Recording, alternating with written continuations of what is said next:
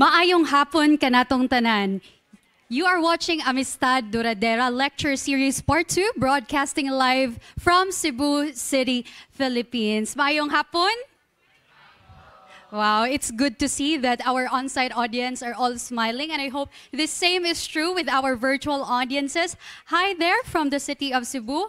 If you don't know, we are live streaming through the platforms of the National Historical Commission, University of San Jose Recoletos, National Quincentennial Celebrations, the page of Cebu City Government's Cultural and Historical Affairs Office, as well as for our local um, LHCN, which is a network of different organizations advocating culture and heritage. To recall, earlier this morning, we already had three lectures, one from our keynote speaker and two from our guest lecturers. To give you a little bit of background, the topic of our keynote speaker, architect Melva Java, was on Cebu 10 years after the 2013 earthquake. We also had Mr. or Dr. George Emmanuel Borinaga from the Department of Anthropology, Sociology, and History, and he talked about the different deities in Visayas before and after Christianization. And to complete our roster of speakers in the morning session, we also had Professor Delilah Labajo, who talked about the Holy Infant Child or the devotion to Senor Santo Niño. And this afternoon, we also have two speakers who will be sharing two lectures for today. Without further ado, I would like to introduce to you to our fourth lecturer for today and also the first lecturer for this afternoon. Our first lecturer for this afternoon is from the Archdiocese Commission for Cultural Heritage of the Archdiocese of Cebu. He is also a commissioner of the Cebu City Cultural and Historical Affairs Office. Ladies and gentlemen, both physically present and virtually present, let us all welcome Reverend Father Brian Brigoli.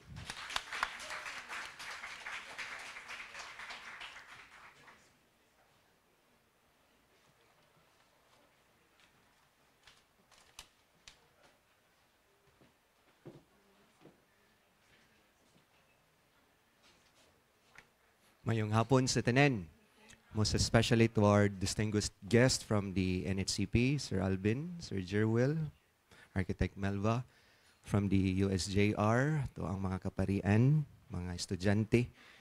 O kanatong tanan, maayong hapon once again. This uh, paper entitled pamanang Espanyol, the Hispanic influences in the ecclesiogenesis of the church cultural heritage of Cebu. This presents the many layers of the Hispanic influences in the ecclesiological structure of the local church of Cebu. Its main focus is the tangible heritage and both the immovables and the movables. These influences are very much extant in today's time and are still in use today by the local churches. The generality of these influences is under the classification of the sacred arts or ars sacra in the service of the mission of the church in general. Be it in the forms of edifices or architecture, paintings or prints, masonry or reliefs, textiles or metals. These are the visible signs, if not the living testimonies, of the Hispanic influences in the local church of Cebu under the vortex of ecclesiastical arts or ars sacra. However, these ecclesiastical works of art are always at the service of evangelization. For sacred arts have in themselves evangelizing capacities that can aid soul for the encounter of beauty himself. Sacred art or art sacra expresses the highest manifestation of a divine truth.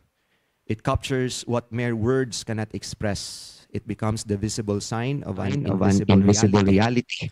More so, More so, sacred art translates facet of faith into a tangible reality of an otherwise incomprehensible religious truth. truths. For so indeed, so indeed, sacred art has its evangelizing- power that proclaims divine realities through the encounter of beauty. Every local church has its beginning and birthing. This is referred to as the ecclesiogenesis.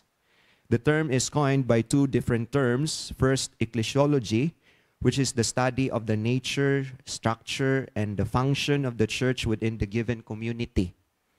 However, the term Genesis refers to the origin or the beginning. And that's why we have the first book in the uh, Bible, the Genesis, no, in the beginning.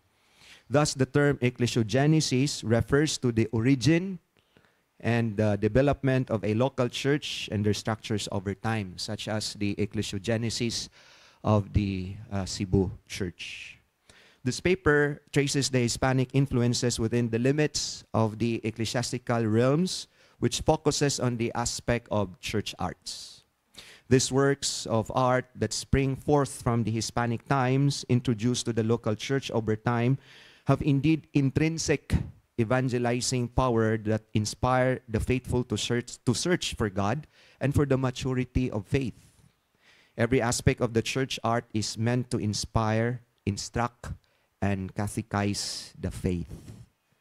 The Hispanic influences in the local church of Cebu and even perhaps the other local churches in the other location of the nation with Hispanic pasts are concretely evident in the edifices being built as well as the accoutrements of sacred liturgy. They are indeed the sublime expressions of the sacred arts that that possess evangelizing valence. This is still what it is today. People are continuing to be inspired, instructed, and catechized, to the sacred, to the sacred parts, of the church, where the Spaniards had brought to our shores 500, 500 or so years ago. However, the very, However, the very origin of this is the faith, being, faith being introduced by the Catholic colonizers in our land. This is This the is the of the of the Philippine, Church. In Cebu, we take Cebu pride, of, the pride of the very first baptism. We We celebrated, celebrated uh, uh, baptism, baptism to be celebrated, celebrated where it made a couple hundred hundred of converts. embracing the Christian faith. From henceforth, this young church never fails to grow, not only in its sheer number of faithful, but as well as the constitution of the local church, its structure, governance, and even the growth of the uh, of the local church from a diocese up to becoming an archdiocese, and later on giving birth to another two dioceses no, in the in the Archdiocese of Cebu. Since we are preparing for the Sugbuswak, no, from one archdiocese, it gives birth to another dioceses, the north and the south. No? Ah, nanganak. No? Nanaghan yun. Nas ato pa there is life and there is growth. As for the outline of the presentation, we tackle the main aspects of the church complex, where the works, the of, works art of art are evidently, manifested, manifested and expressed. expressed. Then we proceed, We in, proceed in discussing, discussing its theological and cultural meanings in reference to the church, the church mission for for evangelization. evangelization. However, However, the the kind of, kind of introduction that I'm going to give to you, since this is just an introduction mga college student ba na amoy subject introduction to philosophy introduction to theology. Mahuman na lang ang semester introduction lang gyapon mo kutob no? Mora sad ni nga talk no? Ay mo kahibong nga puro gyud introduction ini. This is actually to give you the value of the sacred arts that the Spanish um, uh, the Hispanic as a uh, important Hispanic influence that had been introduced to the birthing of a church.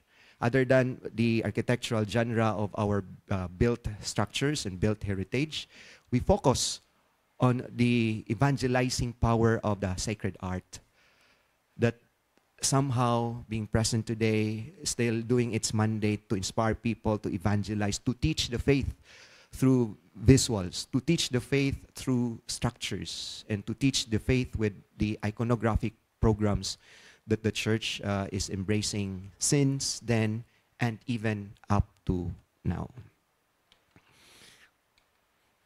Now, let me um, borrow this uh, very inspiring words of um, Saint Paul John, uh, Saint John Paul II. No? In his apostolic letter, uh, he said, "By its very nature, faith tends to express itself in artistic forms and historical testimony, having an intrinsic evangelizing power and cultural value, to which the church is called to pay the greatest attention." nga diha sa mga mugna sa arte na dinha ang pagtuo nga gitudlo sa simbahan nga hangtod karon ug ang pagtuo nga maka-inspire ka nato uh, ug ang pagtuo nga giprotektahan usab sa simbahan in its uh, visible and tangible manifestations in its cultural heritage. Now, since this is an introduction, kani tas-tas og outline pero introduction na gyapon ni tanan. we have the Ecclesiogenesis and uh, we have the Casa de Dios of stone and timber, a built heritage. We have the retablos of statues and shells. We have the ornamentos of worship and sacred objects, the navi of pews and floors, el cuadro of paints and images, porta mayor of wood and doors, the estaciones de la cruz of reliefs and stations, and lastly, the conclusion. May gani kay na conclusion di ay. Now, the Casa de Dios of stone and timber a built heritage. God's house is overflowing with meanings. From a simple carved relief at the facade to a towering height of a bell tower, church structures underline what the church believes. Every aspect of the physical church explains a theological value. Nothing that is incorporated in it has no relation to the tenets of the faith. Every single carving, every religious sign and symbol ultimately direct the mind and heart to the contemplation of the divine. The colonial church structures are usually constructed of masonry, especially of lime and cut stones, cal y canto in Spanish. These structures, other than its practical uses, have in themselves intrinsic narratives in expressing faith that evangelizes. For over 100 of years, the structures stand as a living memorial to the enduring faith of the Cebuano faithful that proves to be resilient to the test of times. Like the stones of these churches that still stood strong, church buildings speak of the durability not only of its fabric, but more so of the resolute belief of the community. Let me borrow the words of um, Richard Taylor in his book How to Read a Church, a Guide to Symbols and Images in Churches and, and Cathedrals. Churches are packed with meanings. Outside the spire points heavenwards. Carvings around the entrance announce the holiness of the space inside.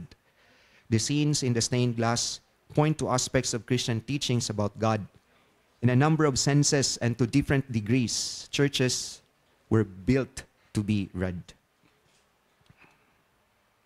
Church complex. Church complex or complejo de la iglesia in Spanish consists of numerous built structures at the service of the religious and the social life. Kay ang simbahan sa una, dili lang kini lugar kung asa magampo ang mga tao, pagpadayag silang pagtuo, to celebrate the sacraments. But this is this was also considered to be a fortification to really to protect the Christian faithful from the enemies, no? That's why they are built in such a way that they are like military fortifications. They have walls, they have sentries, they have cannon towers, and even the construction of the churches, thick walls and small um, openings. These are somehow reflected in how the Catholic Church wanted to defend the lifestyle and the cultural patterns of the Christians during the time against our enemies. That's why in the seat of both the ecclesiastical and civil authority that govern a particular community. This is composed of church, rectory, plaza, uh, mga plaza kabayan yun sa simbahan, pero karon ang ubang plaza na anas gobyerno. Eskwela Katolika, Campo Santo, uh, many others. For the civil authority, this consists of the Casa Real, uh, Casa de Justicia, and the like. Church facade. The facade or the fachada in Spanish is the face of the church, bayhon sa simbahan, no? Ang hulagway sa simbahan. It has its opportunity to teach, inspire, catechize those who linger upon it. It preludes to the mystical inside the church, perchance for a pilgrim to gaze upon the divine from the realm of the mundane. This is the old fachada of the cathedral. This is the new This is after the uh, bombing in World War II, where the main, this is the only uh, original and the belfry. The rests are already new. This is the church facade of the of Talisay Parish, whose feast we're going to celebrate this coming Sunday. No, mo asa mo mamista rong Domingo, no? And also this is the Pachada of uh, Pardo Parish. Okay. Now let's go to the convent. Convent, convento or casa parroquial in Spanish, is the building for the parish priest's residence or rectory. It is also where the oficina parroquial is located. Convent serves as home of the parish priest within the community where he lives among the people whom he ministers and serves. No, this is part of the mandate of the priest to serve in the community that they are going that we are going to live uh, with the community. No, mao na nga ang pare na agi kumbinto. Kung naga ni parokya nga way kumbinto, delikado na mangita naglain kumbinto lain-lain ng balay kada adlaw, no? Muna mangita gimog pare ato gyud kumbinto ayaw sa laing balay. Now let's go to the, this is the convent of um, Sibunga. This is a very beautiful convent of Bolhoon. Another fiesta upcoming this coming November. No? Ganahan mo mamista, ilista ni tanang pistas, parokya, aron layo rang napo katuig nato. now let's go to the cemetery. This is called the Campo Santo in Spanish. This is a holy ground for those faithful who passed away. Originally, this is situated at the vicinity of the church, such as in Boljoon, we have, uh, we have that, um, to indicate the communion of both the living and the dead, where the living can pray for the dead and the dead can intercede for the living. Where the Campo Santo is considered to be a hallowed ground. No?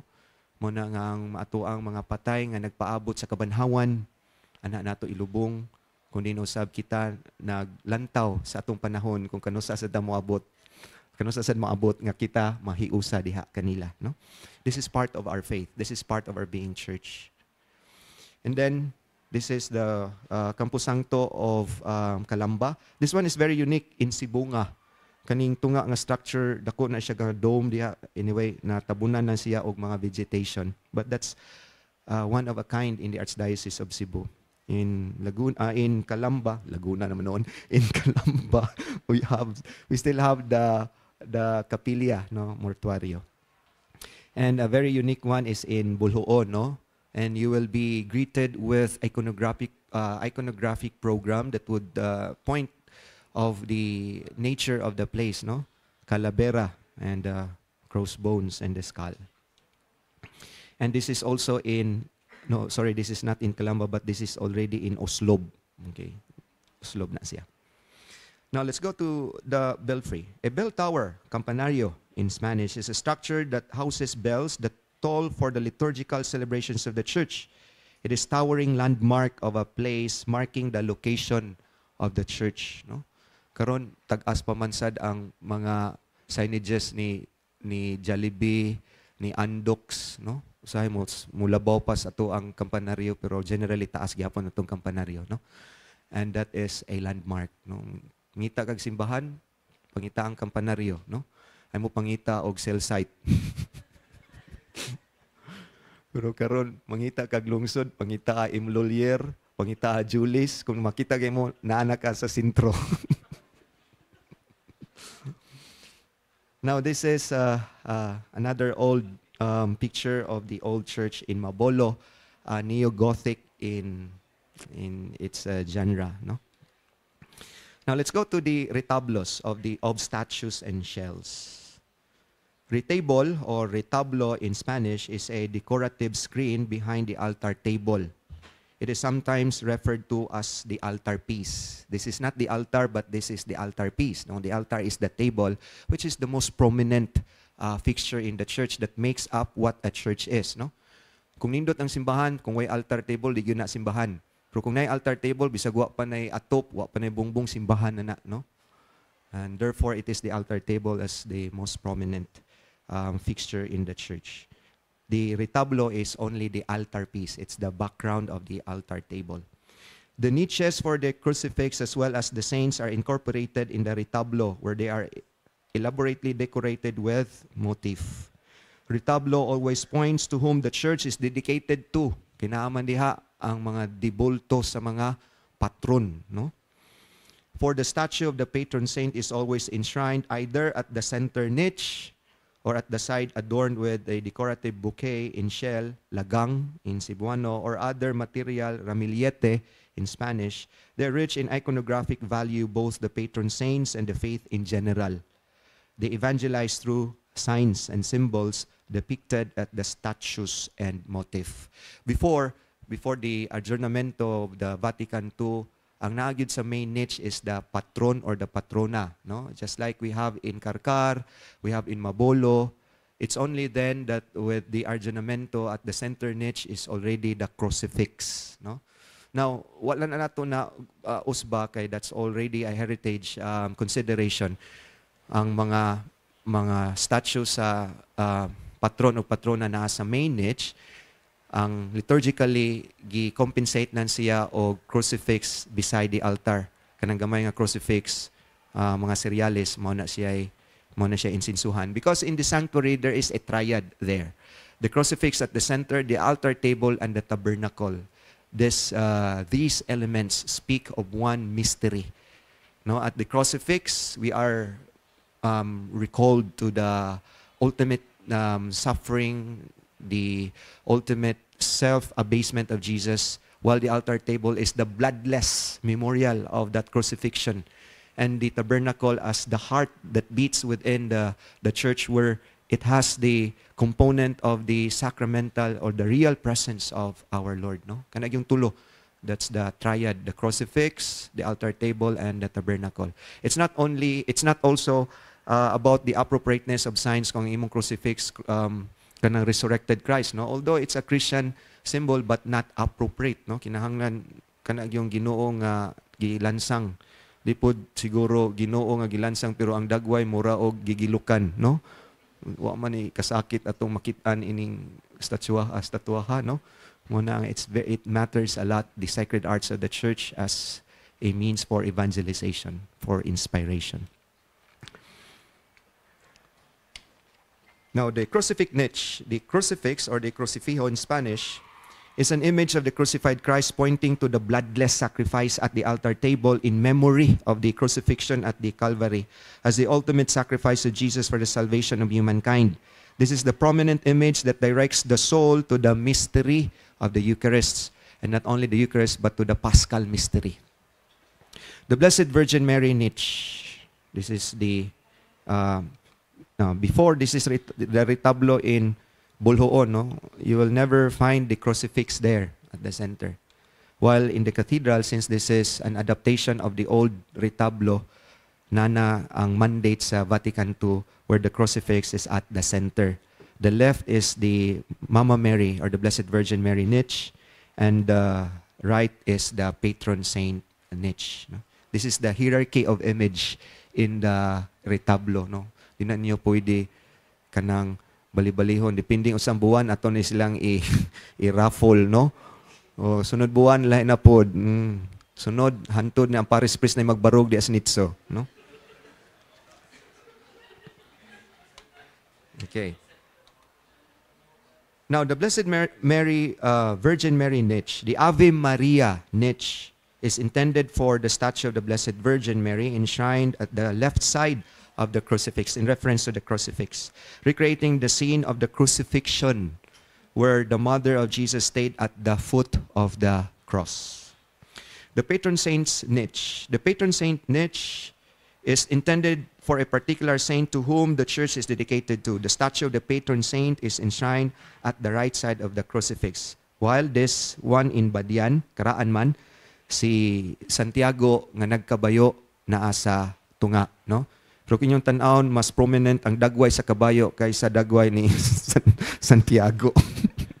Muna kung nasakit, nasakit inyong kabayo, ipahid lang inyong kamot sa kabayo diha sa uh, retablo. Hopefully maayo inyong kabayo, no? kabayo desplansya, di kabayo nga mananap, no? The tabernacle. The tabernacle or the tabernaculo or the sagrario in Spanish is a shrine or a miniature structure where the Blessed Sacrament is kept and reserved. This speaks of the sacramental presence of the Lord Jesus. The adornments always indicate to the sacrament of the Eucharists. Now daghan ni uh, this is a tabernacle found in the Archdiocesan Museum of Cebu, but its provenance is from the parish of Carmen. This is made of silver and bronze, no? Muna, igadto ninyo, ay ninyo kuskusa, no? Kaya bisag inyo ning kuskuson, manipis in town ni, no? Okay. Now, floor tiles, the baldosas in Spanish, are earthenware floor tiles, generally square in shape, used both at the sanctuary and the nave areas. This indicates the virtue of humility, humus in Latin or ground in English, needed upon entering the house of God to encounter Him in a contrite heart. To be grounded of who we are before God, that we are His beloved children, is primarily the foundation of the virtue of humility. That's why we find the baldosas uh, laid out in the sanctuary area and also the nave area. Okay. Now, gani kini sa Argao at the front of the pachada na adin hay tiles nga na ay symbol of the sun which indicates the Godhead, no? And these are the patterns found in the heritage churches. Uh, the left is from Bantayan, the right is from Hinatilan. The left is from Pardo, and the simple one, the simplest one is in Carcar in the right side. It varies in different patterns, but they're all made of earthenware. Floor, they're earthenware floor tiles. The ornamentos of worship and sacred objects. Now we're going into the uh, movable, tangible um, heritage. Ganina, we are in the immovable. Church liturgy is rich in signs and symbols imbued with theological meanings.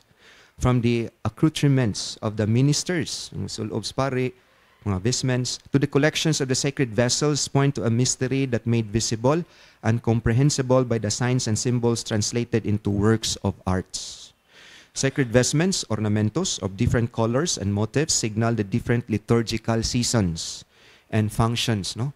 Dili na ni kung say gustos pare nga color mo yang sulobo no, it follows a strict liturgical mandate, no?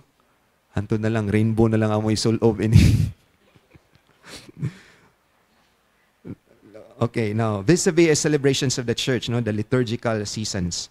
Statues of different iconographic representations instruct the faithful about the heroic deeds of the saints worthy of emulation. That's why even statues or dibulto have their own iconographic programs no kung silang gipangda that means it speaks of the virtue of the saint or the patronage of the saint no sama ni Santa Lucia magdaog mata no? Sa tupa it signals to us nga siya mo'y patrona sa mga tao nga masakiton og mata no? Kung ang iyong pananaw puro nilang gwapo o gwapa adto mo ni Santa Lucia no? Or pu- pwede ra pod inyong mga pananaw pwede na pu- puro na sad mga ngilad kana daot na na inyong mata. Now liturgical vestments Sacred vestments or ornamentos in Spanish are worn by priests in the celebration of the Holy Eucharist and performing other liturgical functions. These vestments are rich in iconographic signs of the mystery of the Eucharist because this is the only way that the church can wield its somehow a kind of a power of a divine power because if it's a military then we are going to wield in your in your hardwares no yung aeroplano mga tangkidigira mga armory etc but this is how the church would express its mandate of power no? By work of arts. Work of arts that inspire that catechize and would somehow lead our minds and hearts to prayer and to the encounter of the divine artisan. Liturgical vessels. Sacred vessels, the vasos sagrados in Spanish, are metal receptacles reserved for the celebration of the Mass and other liturgical functions. These are the chalice, the paten, ciburium, monstrance, ostensorium, and many others, which are consecrated and blessed. No? Una nga, kung mag-inom mo, ay taon nyo gamitang chalice o tagay, ha? or ang or ang mumpo na lang sa Diyon mo aron kausahon na tanig pangay pasaylo. Mumpo na sa itagay. O aron usahon na lang gyud og may pasaylo. Ang ustiya na lang sa himuon nga sumsuman. Unsa naman gyud ang inyo? At least do almost langit no? Kung na mga sa Kristan pangutan sila ilaban ng nabuhat, for sure siguro na sila ilahang mga sugilanon. Religious statues, sacred statues, ribulto, dibulto, or the bastidor or the gonse are carved images or busts as reminders of God, the Blessed Virgin Mary, and the saints. The church has taught that the Christian veneration of images is not contrary to the first commandment which proscribes idols. In our catechism at Catholic Church, we are told that the honor rendered to an image passes to its prototype. And whoever venerates an image venerates the person portrayed in it. No? The honor paid to sacred images is a respect, uh, respectful veneration, not the adoration due to God alone. No? This is our defense uh, against our separated brethren about iconoclasm. No, we are not actually adoring images. No, that is a respectful veneration, because adoration is only due to God. Even the Blessed Virgin Mary, it's not adoration, but that's also a veneration, but higher to the veneration paid to the uh, saints. Now, pulpito, pulpit or pulpito in Spanish is an elevated platform attached to a wall where priests can preach the canopy above, kanang iyang canopy, uh, tornavos in Spanish, acts as a sounding board that amplifies the voice of the minister. No, may microphone sa una kaning tornavos uh, tornavos mo siya amplifier, no? Imo ni siyang tangtangon dili mo amplify ang tingog ni padre, no? May nang naa siya tornabos aron igpangasaba ni padre kitang tanan makadungog siyang kasaba pero di sa kasabot kay Espanyol man no No, tawag ng tagkaraho, pero unsa man na, no? okay, the signs and symbols point to the liturgy of the word, mostly that of the four evangelists and the Holy Spirit, because this picture is at the service of the word.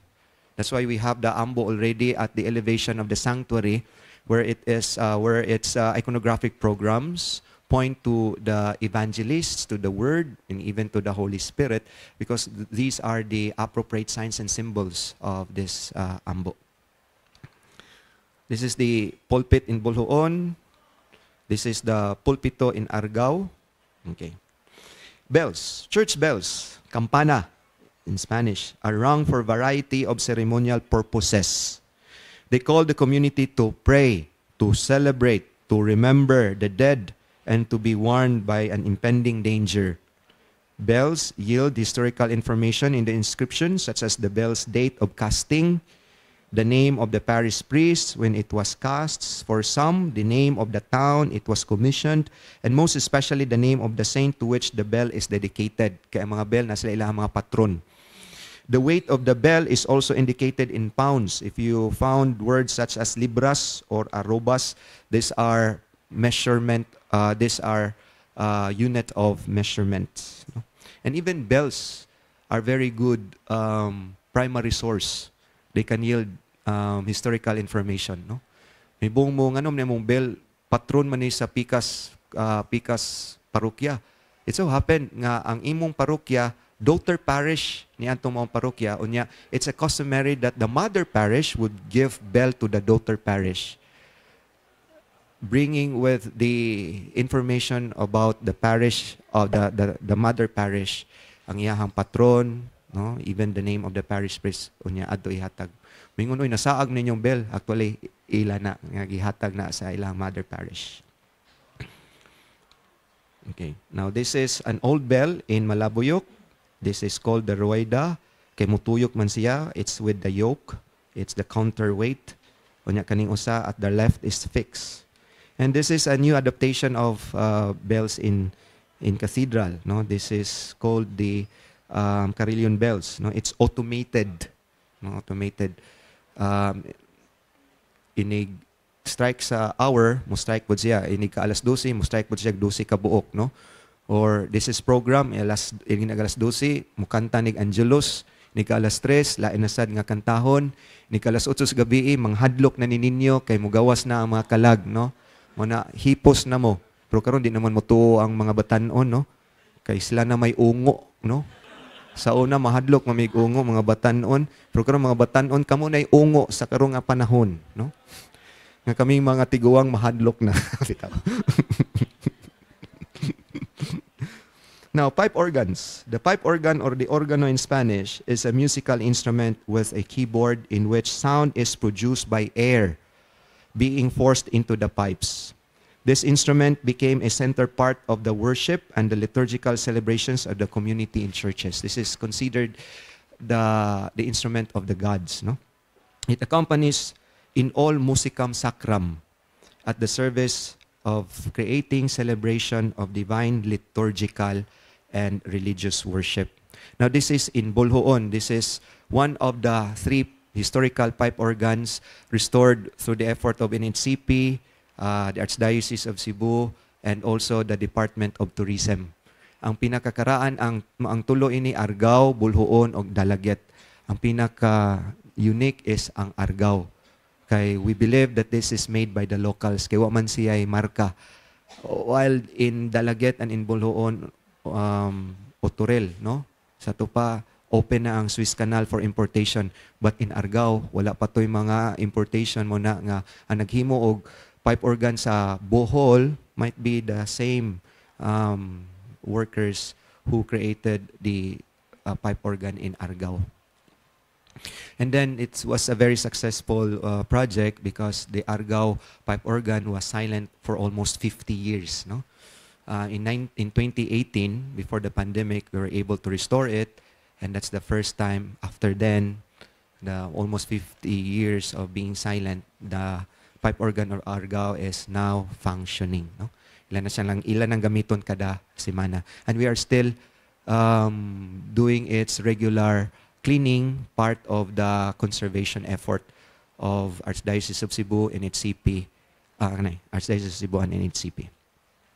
Unique sa ning Argao kay nana siya anghel sa ibabaw, no?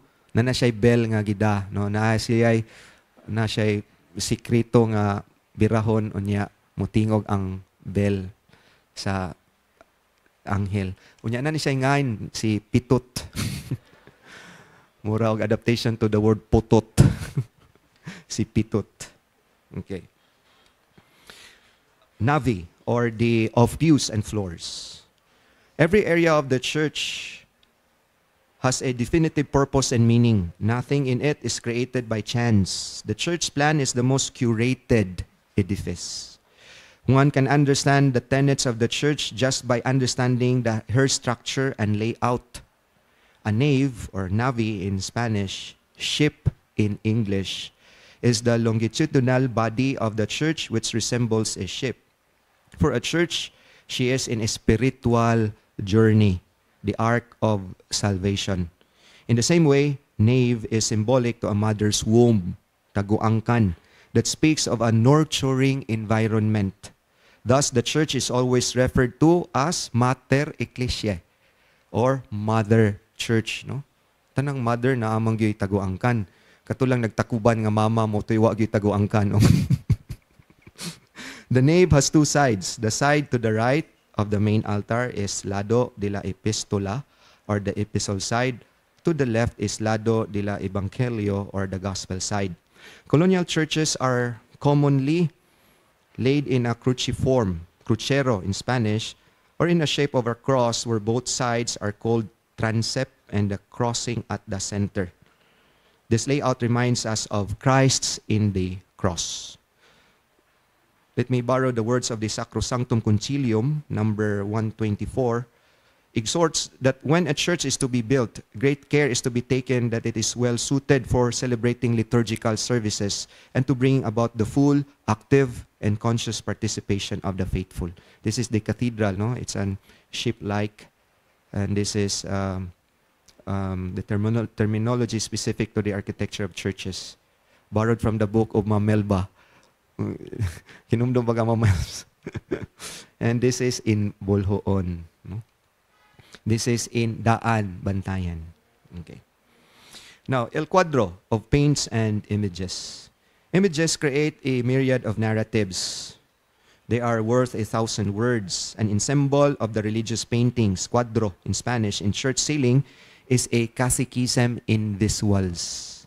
Biblical narratives are the usual themes in ceiling painting, depicting the life and ministry of Jesus Christ as the very core of all artistic forms. Ceiling paintings hover the faithful that touch their senses in leading them to the encounter of the divine. Let me borrow the words of the Constitution of the Sacred Liturgy, Sacrosanctum Concilium. Holy Mother Church has therefore always been the friend of the fine arts and has ever sought their noble help with the special aim that all things set apart for use in divine worship should be truly worthy, becoming, and beautiful signs and symbols of the supernatural world. Now, even up to now, no, the church is the primary patron of the arts. No? Uh, mo ni hinagiban sa simbahan ang iyahang work of arts. No? Di ka kung musud kag simbahan walay work of arts, dili na katoliko. Lain ng denomination, no? Because we always have the iconographic programs as part of the nourishment of our faith and even part of our faith, no? itself. This is a beautiful paint, uh, ceiling painting in Sibonga, kung balikon. This is a new ceiling painting in Bantayan. This is uh, old ceiling painting in Boljoon. This is also an old ceiling painting in Argao. Okay. Porta Mayor of wood and doors. Church doors serve as transitions in two realms the mundane, the outside, and the divine in the inside. The opening of these doors stands for the entrance to the heavenly in contrast to the earthly outside of it. Door panels are laden with meanings Heavenly realities such as angels, cherubim, and the like adorn church doors as porta coeli or gate of heaven. Church doors, porta in Spanish, have two parts. The porta mayor or the big door when opened will draw the carrozas in the church, no? Ang dako, no? Kaning bugat kayo, no? while the porta minor or the postigo or the small door or postern is for the faithful to pass through. This is in Malabuyoc at the left, Sibonga at the right, and then this is the cathedral. Okay. Now, Estaciones de la Cruz of reliefs and stations.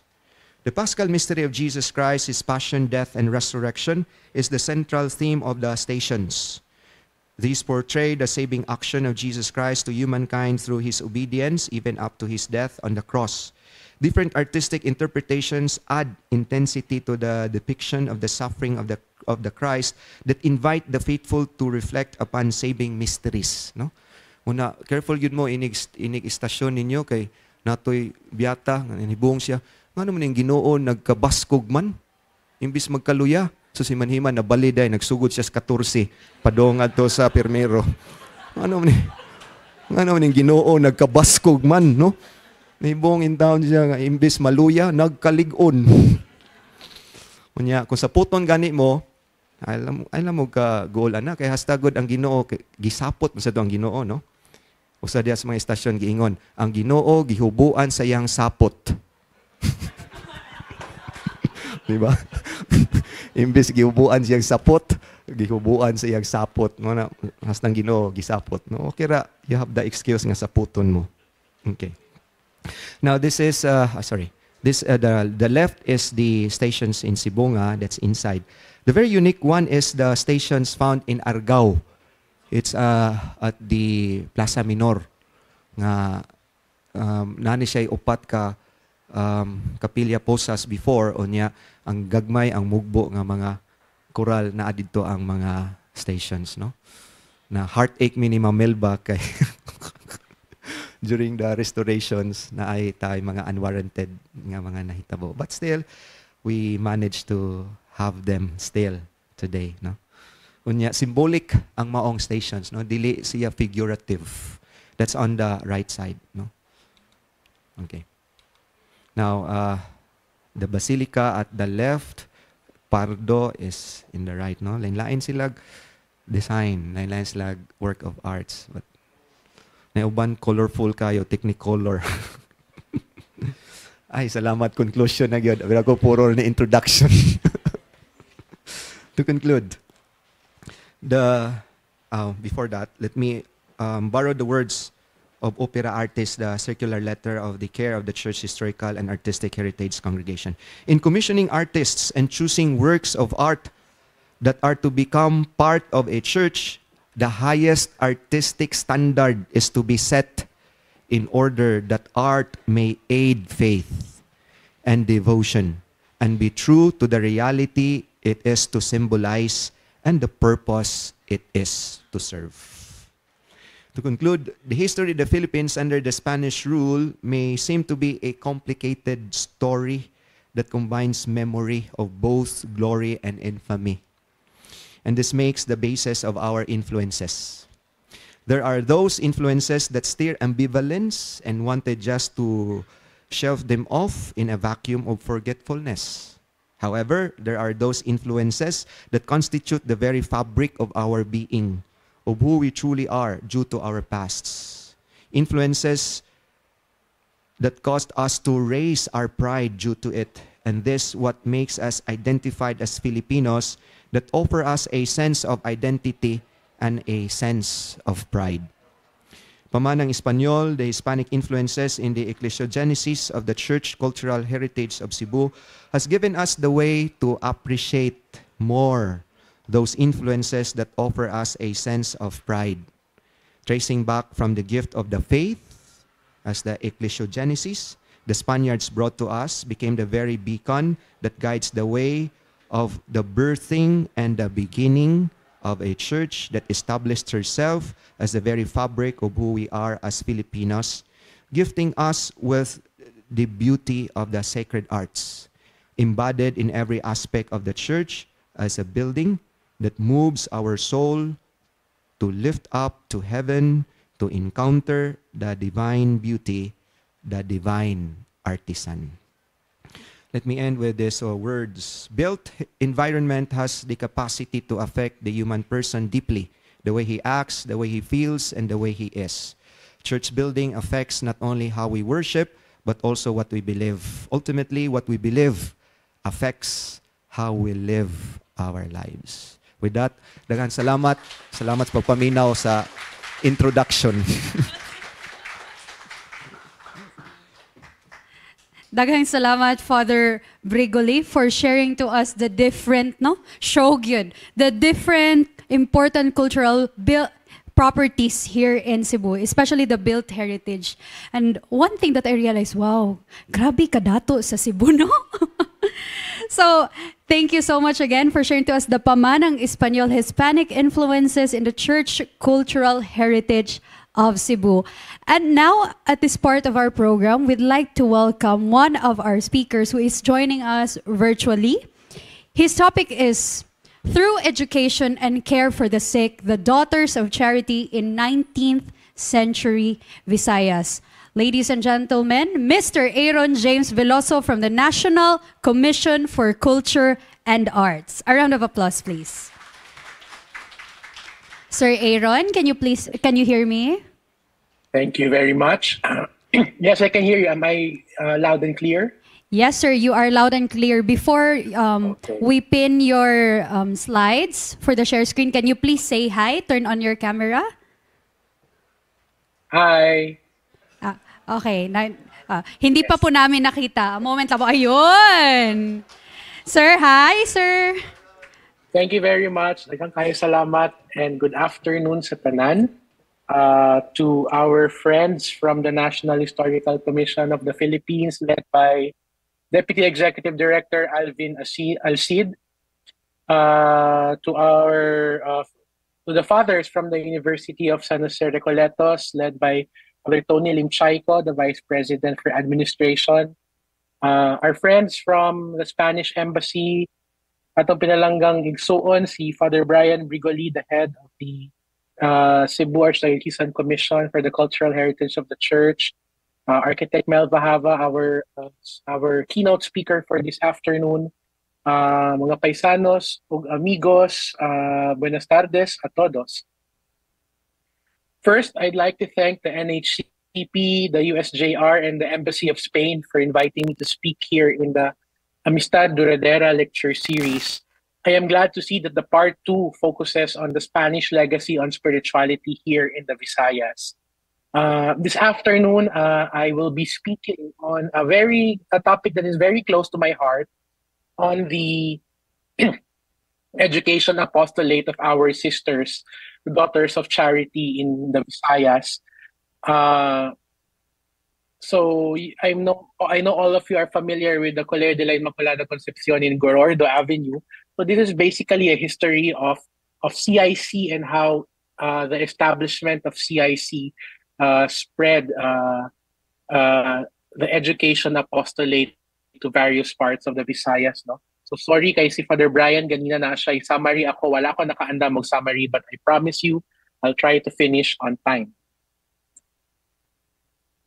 So now uh, I'll start with a short uh, quote from Father Jack Schumacher, a Jesuit historian and one of my idols uh, growing up. No, he he was the one who got me interested in church history. He said in in his book Readings in Philippine Church History that one aspect of the history of the Philippine Church, which has been badly, badly neglected, is the role of religious women. So what I want to do today, this afternoon, no, is to compensate that neglect that Father Schumacher mentioned by looking into the contribution of our sisters, the Daughters of Charity, in shaping the cultural and educational landscape of the Visayas in the late 19th century and beyond. Now, I have to apologize at the onset. Now, if you would look at your program, uh, I promise to look at uh, the education and healthcare apostolate of the sisters, not only in Cebu but also in Panay. But after I completed uh, the lecture, the paper that I am presenting this afternoon, I have come to the realization that I would need at least two hours to finish my my lecture. No? So I don't want to hold you hostage for two hours. So I hope you will indulge me if I would instead focus and sharpen my analysis on the sisters' legacy in educating women in Cebu while also tangentially touching on their contributions uh, on the healthcare apostolate. Now, let me start by talking uh, about the education system before 1862. That was the year that the sisters, the Vincentians and the Daughters of Charity arrived in the Philippines. Uh, a study conducted by Fox and Mercader uh, notes that on the 19th century, that the 19th century education in Cebu, uh, there uh, one of the facts that can be gleaned across various sources was that there was already some sort of primary education, no, parang elementary education, that was widely present in Cebu and in other parts of the Philippines, largely operated by the clergy. Now, for example, if you look at uh, what the Augustinian priest, Father Eladio Zamora, wrote, uh, just for uh, background, Father Zamora was an Augustinian priest, an OSA priest, and he was assigned in various parishes in Cebu and other parts of the Visayas for 23 years. And in 1899, in his book, he wrote that it was a usual practice in parishes conducted by the religious orders for the parish priest to construct in each barrio two schoolhouses of light but adequate materials, one for boys and one for girls. No? So as you see, even before there was a public education system that was uh, mandated by law, uh, our missionaries, the friar orders, were already doing something similar by constructing schoolhouses for boys and for girls. Now, the curriculum in these uh, friar operated schools usually consisted of teaching Christian doctrine, catechism, and the three R's, the basic three R's, which are uh, reading, writing, and arithmetic. Now, for some girls, they also taught uh, sewing and other domestic arts, not to prepare them possibly for for uh, for a life as a wife. No. Now there are also free schools. Uh, these were all free schools, sorry, and most of them operated with little to no subsidy from the government. No, most of them were really operated by the clergy. Now, in some places, uh, the government would maybe would maybe pay for the salary of of a teacher or the schoolmaster, but basically the entire uh, enterprise was directly supervised and operated by the parish priest. Now, this is important because many contemporary writers, as contemporary meaning from the 19th century, assert that the education in the Philippines, again with a particular emphasis on Cebu, was in fact better than many European or Asian counterparts. No, consider that in the early 1800s, in many parts of England or India or France, there were still a lot of people, especially in the rural areas, who do not uh, know how to read and to write. For example, again, referring back to the same study by Fox and Mercader, uh, he cited some references from uh, 19th century writers, among them the author Jean Mallat, who wrote in his book Le Philippine. Uh, he mentioned that the three R's were more widely taught in the Philippines than in most of the country districts of Europe. Another is uh, a writing by the Augustinian priest Hilarion Diaz, who was superior, provincial superior of the Augustinians in the Philippines and later on became Archbishop of Manila in 1827. Uh, Father uh, Archbishop Diaz mentioned that there are many villages, such as in Argao and Dalaget and Boljoon in Cebu, and several in the provinces of Iloilo, where not a single boy or girl can be found who cannot read or write. No? So imagine, in the 19th century, in the early 19th century, this Augustinian missionary was already talking about a high literacy rate about people from Argao, from Dalaget, from Boljoon, and from Iloilo. Now, nevertheless, even if we hear this these uh, observations about uh, the effects, no, or the influence of basic education in, in the Philippines, the system still had many problems, among which are the low attendance rate of students, uh, the differing curricula implemented across various schools, various towns, the difficulty in reaching people in the villages, meaning those outside the poblaciones, and the inadequate academic preparation for teachers. For example, during the course of the parochial visitation of Monsignor Santos Gomez Marañon, who was Bishop of Cebu from 1829 to 1847, he noted that in several towns, or he used varios, no? Varios ang term na ginamit niya. In several towns, only a few boys and girls attend school. Our pastors, therefore, and he's mentioning what the parish priest should do, must bend every effort that all go daily to school and that the men and women teachers carry out completely uh, their work of instructing this, these children in reading, writing, and Christian doctrine. We are aware that the children of the distant barrios cannot be present at the Poblacion school, but if the pastor is zealous and sincerely desires the good of all his parishioners as he should be, he will see to it that schools are established in those barrios and the teachers are paid and that the children are required to come. Now, this is the situation in Cebu, no? but in Manila, there's a, a little difference, no? especially in Intramuros, uh, bearing in mind, of course, that Manila was the capital of the Spanish administration of the Philippines. Uh, if you look at the education for girls, no, for women in Manila, while the curriculum is the same, there's a small difference in terms of the institutions present. So, for example, uh, there were boarding schools in Intramuros, no, not unlike those in Spain and other parts of Europe. Now, these boarding schools can be classified into two categories. Categories. First, the colegios or the standalone uh, boarding schools, uh, and the second one would be the ones uh, operated or annexed to a beaterio no, or a beguinage, many of which were officially uh, established as uh, casas de recogimiento or uh, houses of learning. Of the first category, the colegios, uh, there were two in the early 19th century. First is the Colegio de Santa Potenciana, founded in 1591 as a residence and school for orphan girls of Spanish descent, and the second one being the Real Colegio de Santa Isabel, still existing today, no, which was founded in 1632 by the Cofradia de Santa Misericordia. Now, among the beaterios, there were a number uh, established in the 17th and 18th century, many of which uh, have descendant educational institutions in Manila, which are still existing. For example, the Beaterio de Santa Catalina, established by uh, Mother Francisca del Espiritu Santo, is the forerunner of today's Santa Catalina College in Sampaloc, Manila. That, that is why for those who are from Carcar, there's a school there, the St. Catherine School is operated by the same congregation.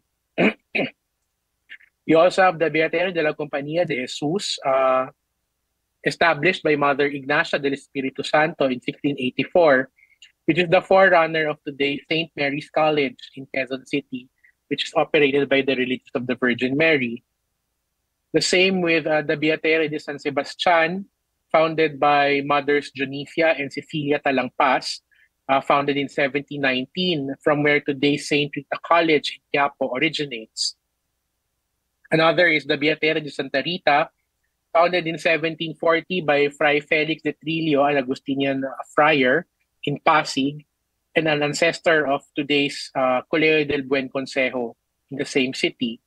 And finally, the Beaterio de Santa Rosa, founded by a Dominican tertiary Madre Paula de la Santísima Trinidad uh, in uh, 1750, which today is now known as the Colegio de Santa Rosa, which is present in both Intramuros and in Makati. Now, one of the things that you will notice is that I listed down through all of these uh, secondary schools and the schools of uh, higher learning for women, but none of them were in Cebu. In fact, the only institution of higher learning uh, present in Cebu, be it for men or for women, was only there was only one, the Colegio San Ildefonso, founded in 1595 by the Jesuits uh, in 1768, after the suppression of Charles III, after Charles III suppressed the Society of Jesus in all Spanish territories, the Colegio was forced to close. And in 1779, the Bishop of Cebu converted the property of San Ildefonso into the Seminario de San Carlos, which only functioned as such in 1825. No? And in fact, uh, while uh, it is being considered as a predecessor of, of the University of San Carlos, it only functioned as a colegio or a secondary school in 1867 when the Vincentians uh, began to operate the seminary. Now, in the first half of the 19th century, organized systems of modern public education began to be introduced in Europe, beginning in France, 1833 and later on in Spain in 1857. The Philippines followed suit, no, being a Spanish territory. And on December 20, 1863, a royal decree was issued by Queen Isabel II implementing a plan for primary instruction in the Philippines. A plan uh, por instrucción primaria de Filipinas. So this plan was uh, devised not only for Spanish uh, Spanish children living in the Philippines, but also for natives, for Filipinos. No? Its provision represented a radical educational reform, hoping to improve uh, the quality of education on the islands in accordance with the demands of the time, no? to make it at par with those in uh, in the continent, in the European continent. Now, contrary to popular belief, this decree, the 1863 decree, did not create eight free elementary schools because, as I mentioned earlier, the friars already established several, in most towns, an elementary school for women and for men, for boys and girls rather. But what this decree did was to nationalize the entire system and placed the education system under government control. No? So it was no longer just the domain of the clergy, but it became the primary responsibility of the Philippine of the Spanish administration in the Philippines. Among the most important characteristics of this plan that I was mentioning is first, no, it it required that there be two schools in every towns, regardless of the number of inhabitants, one for boys and another for girls, no? And in some cases, in bigger towns, it also required the setting up of uh, schools in different barrios and villages.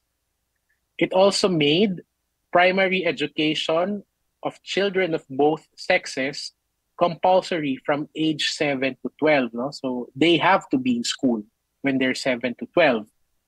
It also mandated that the same ped- pedagogical principles and regulations as those used in Europe, meaning the same teaching techniques and standards, be implemented in the Philippines. It also made mandatory the use of Spanish as medium of instruction in all schools. At the same time, because the parish priests no longer operated the schools on their own, the office of the inspector, or what we are more familiar in today's uh, terminology, as the principal, was delegated to the parish priest of the town ex officio. So he was the principal of the school. Then the same decree guaranteed that all teachers will receive salary, not depending on the goodwill of the parish priest or of the uh, local gobernadorcillo, and mandated that the teachers and their families be given accommodation in the schools where they are uh, teaching. It also prohibited corporal punishment, except for certain uh, uh, practices that were considered acceptable. And most importantly, the decree made permanent the regulation that public education should be given free of charge and that school materials should be provided. So now, if you can see a lot of the same uh, principles continue to govern our uh, basic education system nowadays. Now, so it was really that 1863 decree that kind of shaped how uh, our public education system uh, looked like for the past uh, 160 years now in broad strokes. Now, the same decree established a Comisión de Instrucción Pública which is the forerunner of today's Department of Education. And some years later, in 1871, it created a Junta Superior de Instrucción Pública, presided by the Governor General. So this Junta Superior is like the uh, the PRC, no? It administers the exam for people, for graduates who want to uh, receive a certificate to become a maestro or a maestra. Now, this, of course, professionalized the teaching profession in the Philippines, and which is very important considering that by the end of the Spanish administration of the archipelago in 1898, there were about 2,167 primary schools in the country, with about 200,000 graduates between 1863 and 1900s. So now, at this point, maybe you're asking, where do the Daughters of Charity come in in the picture? They're actually now the next part of, of the discussion. No?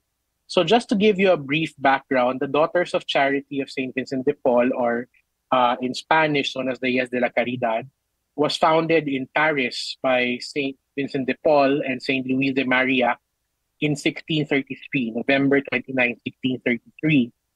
Now, it was an offshoot of the confraternities of charity or what we know what we continue to know now as the ladies of charity who were composed back then of influential women in the court of the French king no and it was a response to do charity work in a more organized manner uh, considering the needs of the poor in Paris and in France in the uh, 17th century France now, the inspiration to organize charitable works further led St. Vincent and St. Louis to establish this congregation, the Daughters of Charity, as a company of non-cloistered women. So, dili na sila pareho sa mga Carmelites, for example, ng mga mongha, no? Because in those days, all nuns were cloistered pareho sa mga Carmelites. So instead, what Vincent and Louise wanted was a group of women who would dedicate their lives to serving God in the sick and the poor. Now, more than a century after it was founded in France, 1790, the Daughters of Charity arrived in Spain, where they administered orphanages, uh, took, uh, took care of the sick in the hospitals, and provided for the education of children in schools. In 1836, uh, after the Civil War, uh, the whole institute, together with all religious congregations, were abolished until 1851 when it was re-established, one of the first ones to be re-established together with the congregation of the mission. After a few months, when they were re-established in uh, Spain, the Ayuntamiento de Manila, the like the city government of Manila, requested Queen Isabella to send 10 sisters for the primary intention of administering the hospitals in the city of Manila and the school for girls. Now, with the support of the then Governor General Antonio de Urbistondo, Queen Isabel uh, II issued a decree on 19 October 1852, which mandated the transfer of all hospitals in the Philippines belonging to the Brothers of St. John of God to the Daughters of Charity, and then uh, assigning the sisters to take care of uh, the schools attached to the Beaterios of uh, of La Compañía de Jesus and San Sebastian and the colegios of uh, Santa Potenciana and Santa Isabel. Now, in the same decree, the Vincentians were sent to the Philippines and asked them to take care of all the seminarios conciliares in the country, including San Carlos Seminary in Cebu.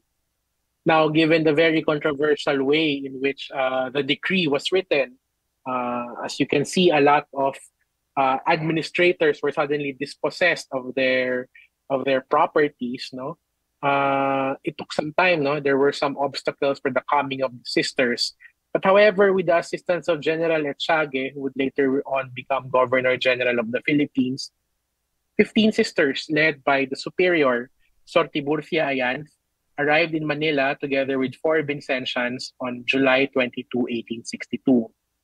Now, immediately after their arrival, 10 sisters uh, took, uh, took over the Hospital Militar de Manila as requested by General Echagüe, while five sisters continued to stay in Santa Isabel while awaiting for the opening of the Escuela Municipal para Niñas, a work which would open, the, the school would open two years later in 1864. Now, the same school was designated as the first normal school for women or the first school for teachers para maestras by the Spanish uh, civil government in 1871. It bears noting that between 1864 and the 1900s, end of the Spanish colonial period, the Escuela Municipal was under the administrations of the Sisters, the Daughters of Charity, and 500 to 600 of their graduates uh, received the title maestra after passing the examination administered by the Junta Superior. Now, these maestras would then practice the profession in many parts of the Philippines, including in Cebu, as I would later touch on. Now, the Twin Ministry of Education and Care for the Sick and the Poor would eventually be the template uh, of the apostolic field of the Daughters of Charity in the Philippines. And uh, arguably, it is their biggest contribution in Philippine culture and society. Now, in the field of education, they were known for bringing the French method of teaching, espoused by one of the first sisters to arrive in the Philippines, Sor Maria Ibarra, a Spanish daughter of charity who was trained in this method in Paris. The French method became the bedrock of the educational ethos of the sisters in the schools where they would eventually uh, establish or administer during the Spanish colonial period including the, as I mentioned earlier, and as required by the Queen, Santa Isabel, uh, Colegio de Santa Rosa, uh, the schools in Nueva Cáceres, uh, including the Escuela Normal Colegio de Santa Isabel in Naga in 1868, uh, the Colegio de la Inmaculada Concepción de la Concordia in Santa Ana, Manila, which was opened in 1870, the Colegio de San Jose in Haro, Iloilo, which began in 1872. The Colegio de la Milagrosa in Calbayog, uh, Calbayog Samar, which was opened in 1885. And the Asilo Colegio de San Vicente de Paul in Paco, Manila, which was opened in the same year. Meanwhile, their works also on the care of the sick multiplied and entrusted to their care were various hospitals and hospices, including Hospicio de San Jose, the Hospital de la Marina in Cavite, and the Hospital de San Juan de Dios in Intramuros. Now, if you will notice, none of these institutions actually speak of something in Cebu, no? In fact, except for Colegio de la Milagrosa in Calbayog and maybe Colegio de San Jose in Iloilo, all of the works of the Daughters of Charity were concentrated in Luzon. Now, where does Cebu fit in picture? Now, the answer lay uh, in Colegio de la Inmaculada Concepcion in Cebu. No? So many of us know this colegio as uh, Inmaculada or CIC. No? I don't know if some of you are Inmaculadistas. Founded in 1880, the college claims to be the first Catholic school for girls in Cebu and is currently administered by the Daughters of Charity with campuses in uh, Gorordo Avenue and in Mandaue. Now, it will be important for the purposes of this lecture to trace the lineage of this institution and to see how it contributed to the development of education of girls and the intellectual tradition in Cebu and to a wider scale in the Visayas. Unlike many other educational institutions, the roots of Inmaculada can be traced to a hospital founded in 1864. The hospital was uh, established by Monsignor Romualdo Jimeno, who was then Bishop of Cebu, uh, in a house rented from Don Gabino Picoso with the intention of serving people with leprosy. This house was called Casa de la Caridad uh, and was opened and closed several times until one Vincentian priest named Father Fernando de la Canal, who was then assigned as spiritual director of San Carlos Seminary, entrusted its operation to a senora named Baldomera. However, Baldomera was not very zealous and she would quickly relinquish the assignment, and in her stead, Father de la Canal would uh, assign three virtuous Cebuanas who volunteered for the mission. They were Apolonia Lasala y Rosales, born in 1845 uh, in Sogod, Cebu. Rafaela Echeverria, born in 1850. And Julia Avellana Extevere, born in 1853 in San Nicolas, Cebu. So they were uh, spiritual directees of uh, Father de la Canal. No, you can see them. They were they are the ones highlighted in the photo. Uh, they were spiritual directees of Father de la Canal, and they began to serve in the Casa de la Caridad as nurses on October 24, 1877. Now, Father de la Canal was the spirit and force behind the new apostolate and guided the three, Apollonia, Rafaela, and Julia, in both the spiritual and practical aspect of, of the work in a hospital. However, after less than a year of service, both the women, the three women, and Father de la Canal was convinced that their vocation was to serve in the ministry of the sick in the Casa de la Caridad. So, with the consent of the Bishop of Cebu, Bishop uh, Benito Romero de Madridejos, a Franciscan, they began to wear the habit and were organized into a religious institute called the Congregación de las Hermanitas de la Madre de Dios, which was established on September 8, 1878. Now, Sor Apolonia, the one in the middle, the middle of the three, was elected as the first superior of the small community, whose rules were based on the common rules or the constitutions of the Daughters of Charity. And like the DC sisters, had for their apostolate the care of the sick and the poor. Now, vocation for the to the Hermanitas, so the congregation flourished, with applicants coming from different parts of the Visayas and even as far away as uh, Camarines Sur and Manila. Bishop Madridejos then proposed the opening of a colegio for girls under the ad- administration of the Hermanitas to complement the one for the boys already operated by the Vincentians in the Seminario Conciliar de San Carlos. To do this, no, they looked for professional teachers in Manila. And two alumni from the Daughters of Charities Escuela Municipal de Niñas, the one I mentioned earlier, arrived in February 1880. They were uh, Ilaria Salinas Ilobrio, born in 1852 in Ermita, Manila, and Cirila Miranda y Alberto, born in 1854, 1854 in Intramuros. Now, they were not only to be teachers, apparently, because by May 15, they received the habit of the Hermanitas, and 15 days later, on May 30, they began to serve as directress and assistant directress, respectively, of the Colegio de la Inmaculada Concepcion, which was inaugurated in the same day. Now, the roots of the school was uh, sank deep in a house rented from a person named Don Antonio Roa uh, in in a house in front of the seminario, the old seminario, which is near Fort San Pedro now. uh, and adjacent to the Casa de la Caridad along Martires Street. The building had three classrooms, two on the second floor and one on the third floor for the Escuela Municipal. Initially, the student population consisted of 30 resident students, 30 internas, six half-boarders, and 30 day students. No? So, yung resident students, they were the internas, they lived with the nuns in the school. The half-boarders are those which eat lunch there, and the day students are those who only go there for classes and go home for lunch. Now, these half-boarders and the day students were in reality students of the Escuela Municipal, not the government-funded free school, which was later called on as the Escuela Católica de San Vicente de Paul, which operated in the same building administered by the same sisters. Now, like the Manila schools for women steeped in the French method, the Inmaculada, or what we know now as CIC, taught the three R's, a little geography and history, religion, and home economics. The famed Cebuano musician Don Juan Borromeo taught the music courses in the school.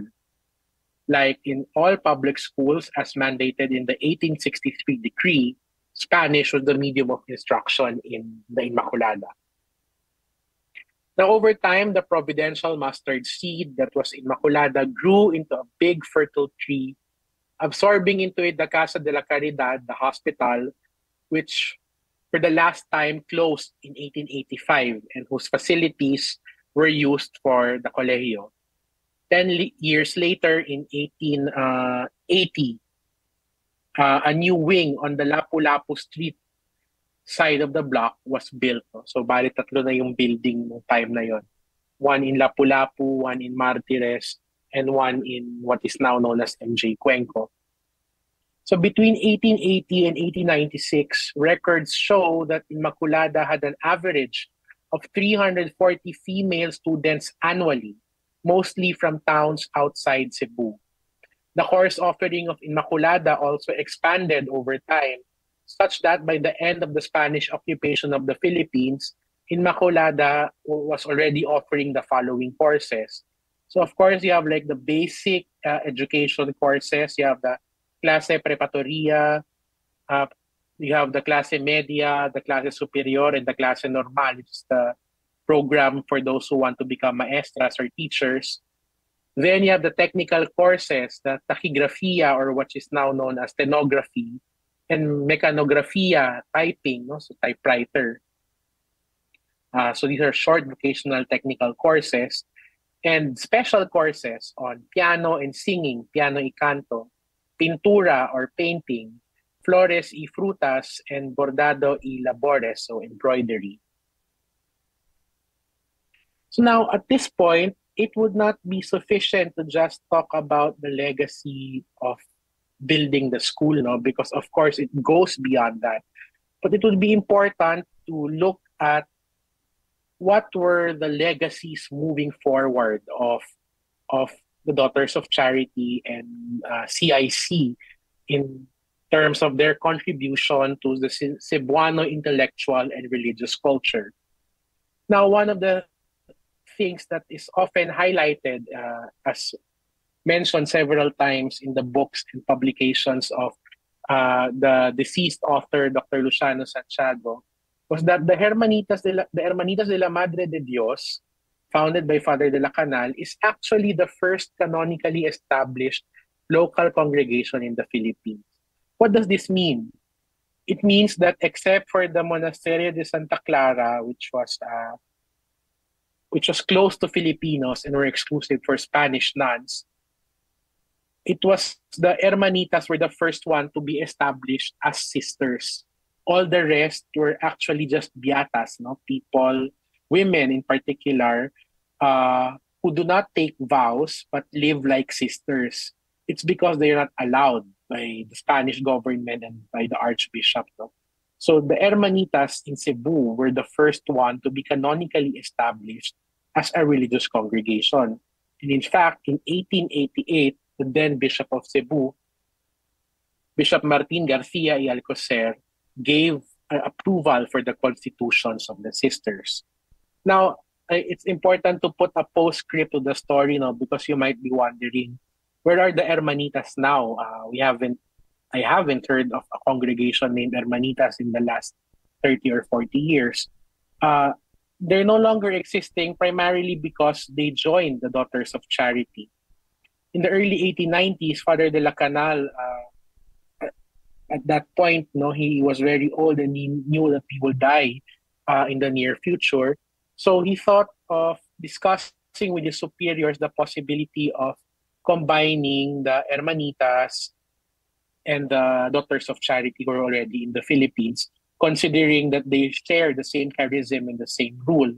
In 1894, Father Eladio Arnaiz, a Vincentian priest, was sent to conduct a visitation of Colegio de la Inmaculada Concepcion on behalf of the Superior General of the Vincentians. And seeing positive fruits, no, he recommended the incorporation of these Cebuano sisters to the Daughters of Charity. And so on 28 January 1895, Father Manuel Oriols and uh, Sister Tiburcia Ayans, sorry, Sister Tiburcia Ayans formally incorporated the 18 living Hermanitas into the Daughters of Charity. So you will see uh, all the names which are listed in white are the living ones. Those in blue were those who died before 1895. So I think there are about six of them. So the, the 18 were uh, integrated into the Daughters of Charity, and a Spanish sister, Sor Celestina Escalona, uh, was brought in to be their superior. And so henceforth, until now, uh, it's the Daughters of Charity who are running Colegio de la Inmaculada Concepcion. Now, the second and uh, perhaps one of the bigger legacies of the Daughters of Charity is their contribution, their efforts in starting secondary education of girls in Cebu. No?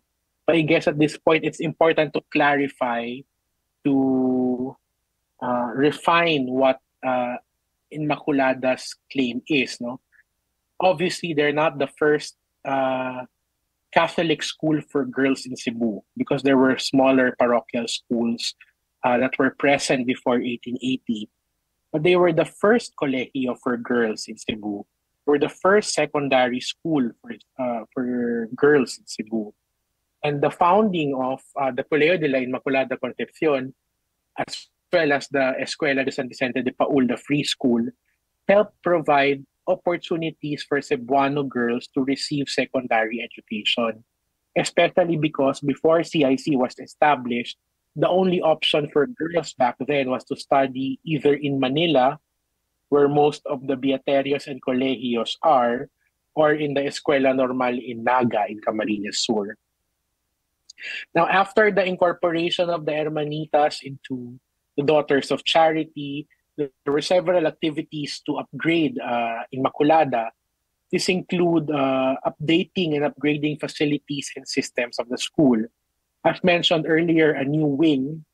So you see here, I don't know if my cursor is showing.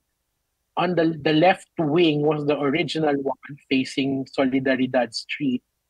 That was the original Casa de Casa de la Caridad, followed by the building of this side, uh, which is now MJ in, in what is now MJ Cuenco Street, uh, where the Inmaculada was formally established in 1880.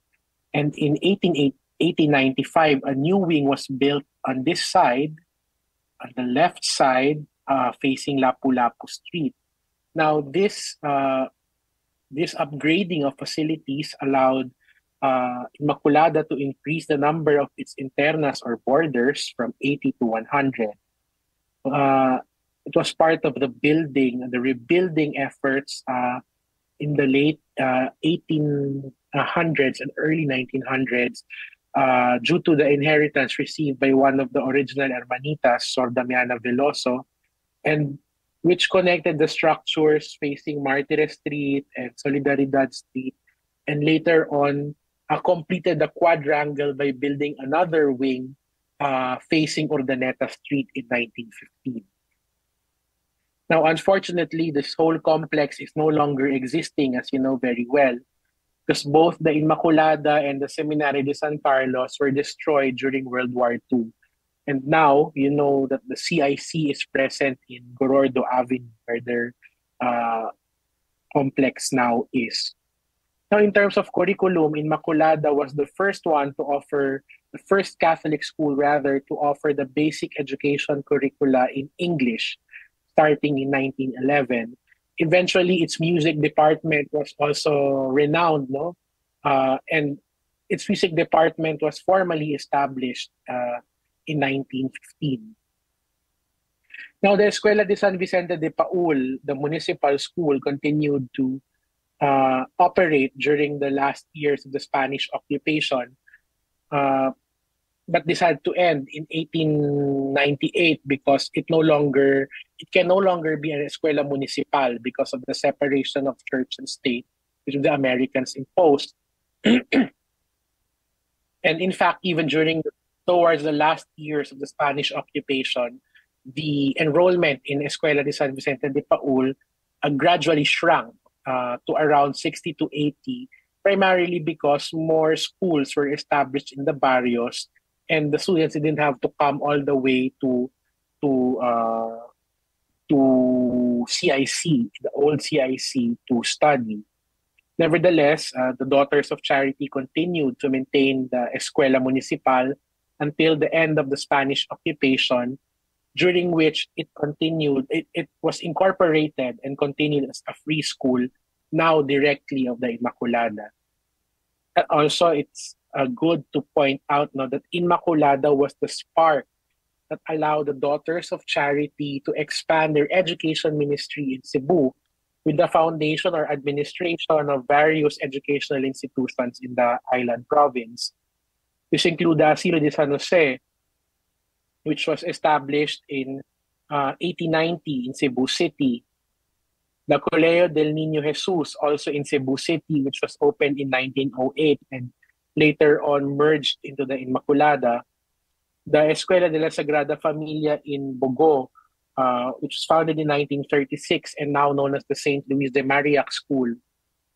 And uh, the Asilo de la Milagrosa, which was founded in 1936 and which had a school named the Miraculous Medal School from 1946 to 1983. And the San Martin de Porres uh, Academy in Daanbantayan, which was founded by Cardinal Rosales in 1968 and which was recently turned over to the Archdiocese of Cebu.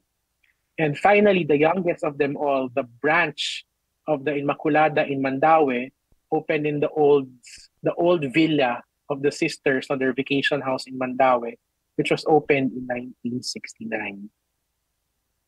Now, another legacy that is worth noting is the contribution of the Daughters of Charity to uh, education, in particular to public education in the province. Uh, it must be stressed that the two colegios uh, in Spanish Cebu, namely the Colegio Seminario de San Carlos and the Colegio de la Inmaculada Concepcion, helped develop the local education system by at least two ways.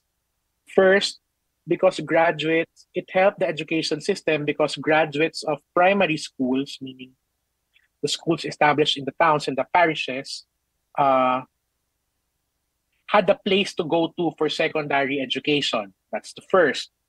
And second, these schools, both San Carlos and the Inmaculada, served as a feeder. It provided uh, graduates uh, who were eventually allowed to take the teacher certificate examination starting in 1890. So in the case of Inmaculada, the Junta Superior de Instrucción Pública was satisfied with the quality of education that it permitted the graduates of CIC to take the examination for the Maestra certificate starting 1890. Now, this is important because until 1893, technically, there was no freestanding uh, normal school or school for, te- for teachers. No? And the Daughters of Charity in Manila, in Naga, and Cebu had a virtual monopoly in forming women teachers. Uh, this can be validated in the list provided uh, by Fox and Mercader in 1961. There, among the few female teachers in uh, 19th century Cebu was Juan Magdalena Zozobrado, who was a primary school teacher in Dumanhug, Cebu, and who was listed as an alumna of Immaculada. It is also no surprise then that when the American colonial administration expanded the public education system in the form that we now know today, many of the teachers in the Visayas region were well prepared graduates of the CIC. So, it, in a way, the influence of CIC was not only in terms of Catholic education, but also informing teachers for the public school system, especially with the advent of secular education under the American colonial period. I, I was told I have seven minutes left, so I have to go through my slides very quickly. Another legacy of the Daughters of Charity was in the growth of piety in, in the province, in the Archdiocese of Cebu. Uh, for example, the Daughters of Charity have fostered a devotion to Our Lady of the Miraculous Medal, which is a devotion particular to our uh, to the Vincentian family. The sisters established, for example, the first unit of the Hijas de, la, Hijas de Maria or the Children of Mary in the CIC in 1905.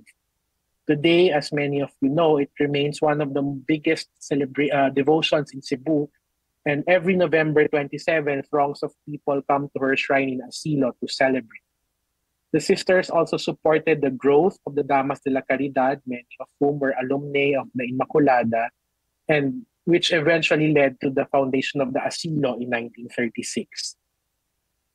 Now, another often forgotten contribution of the sisters was the establishment of the Imprenta de San Jose or the St. Joseph Printing Press in 1890, which was built to uh, support financially the Asilo de San Jose in Cebu. At the time that it was established, it was the most modern printing press in Cebu. And in fact, it was only it was one of only two existing in the province. The other one being the press of uh, the newspaper Boletin de Cebu. While most of the imprenta's work focused religious topics, for example, novenas and pamphlets, it did sustain for almost 11 years the publication Ang Kamatuoran or La Verdad, a fortnightly comes every 14 days. Excuse me. A fortnightly publication uh, which first appeared in 1902. It was edited by uh, Monsignor Pablo Singson, who would become the first Bishop of Calbayog, and Father Pedro Wulia, Vincentian priest. While it is not the first periodical printed in Cebuano, the record is held by uh, Ang Suga of Vicente Sotto, which was published a year earlier. Uh, ang Kamatuoran remains to be an important record of the ways of adapting the local church had to take after the Philippine Revolution which include, for example, going into journalism and literature. Prior to ang kamatuoran, the only church publication was the Bulletin de la Diocese de Cebu, a gazette of some sorts which was present from 1888 to 1892. Unfortunately, the printing press was destroyed during World War II, and after the war, the sisters no longer established a physical printing press, but rather contracted out the printing of the novenas, which until now they are printing to a third party printer. Now, the novenas may seem dated, but uh, they are they remain to be good records of pious literature and music from the pre-war era. Now, in 2012, uh, just to recap everything, in 2012 we celebrated the 150th anniversary of the arrival of the Congregation of the Mission, the Vincentians, the Daughters of Charity in the Philippines. More than 11 years since that milestone, one cannot help but remain overwhelmed with gratitude for the persistence and zeal of our earlier confreres and sisters, especially those who came from Spain. One of the former provincial visitors and director of the sisters, Father Ramon Sanz, once wrote uh, to another confrere as I have told you in my previous letters, the mission and the houses in the Philippines occupy a place of preference in my heart, and I am ready to do anything I can for its preservation and progress. With them, the new missionaries, I am sending you good and capable personnel for all the various ministries. You can see how generous and how zealous the Spanish confreres were. Now, I would like to think that when the Daughters of Charity came to the Philippines, or for that matter, the Vincentians or uh, the Hermanitas, when they uh, first began their work, it was not their primary intention to solidify their presence by building institutions or establishing huge complexes that will uh, influence generations of Cebuanos and Filipinos. Certainly, their desire to serve through education and care of the sick was fueled by a deeper conviction to imitate Christ and our founders, a, convic- a conviction that comes from the Vincentian vocation. As their motto states, the charity of Christ crucified impels us. Be that as it may, the fruits of their ministry in Cebu continue to redound to this present age, not only in the field of uh, religion and education, but also in social work, in literature, and in music. Like Father Schumacher, I can only hope that more studies will be made on the contribution of religious women, both those who began their apostolates in the Philippines during and after the Spanish colonial period, in order to liberate the stories of these women from anonymity and to paint a fuller picture of their contributions towards the development of the Filipino Catholic psyche. And with that, muchísimas gracias, maraming salamat, naghang salamat, ug maayong hapon sa tanan. Thank you so much, Mr. Aaron James Arveloso. At this juncture, as promised, we will now have the open forum. May I invite to join us on stage Reverend Father Brian Briguli. He will be joined still by the speakers from this morning. Can I ask Architect Java to still join us on stage for the open forum? Because I know there are a lot of questions that one that was supposed to be raised earlier, but then we were short of time. So aside from Architect Java, is Dr. Borinaga still around? Sir, please join us here on stage and online. Sir Aaron, please stay because our participants, both on-site and online, may still have some questions for you. At this juncture, uh, each of our speakers are provided one, one microphone.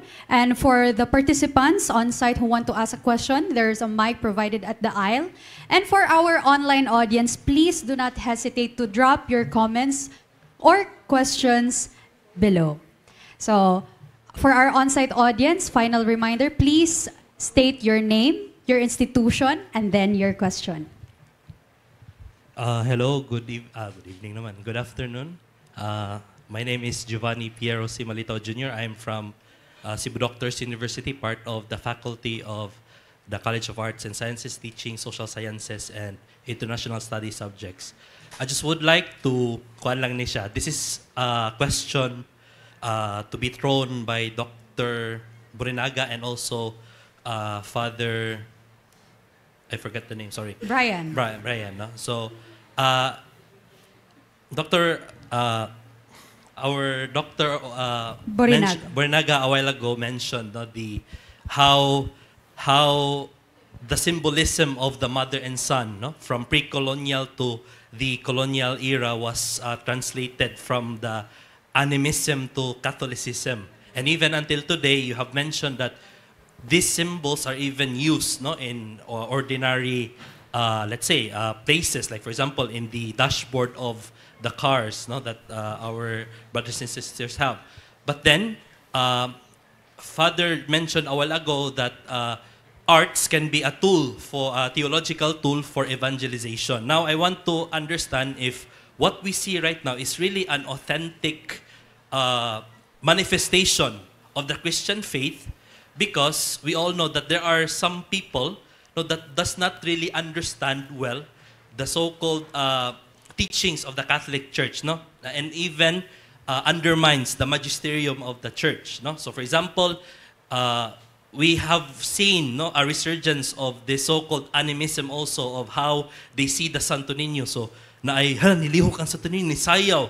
So even if the Catholic Church is uh, saying that it's not uh, an official miracle, then others would still uh, believe no, this particular uh, phenomenon. So how do we see no, really, the so-called uh, uh, faith of, of, of, of other Catholics, no? Because we all know that they, I'm not sure if they really know the theology behind the symbolism, the art that we see right now, no? as what Father said. So that is my question. So thank you.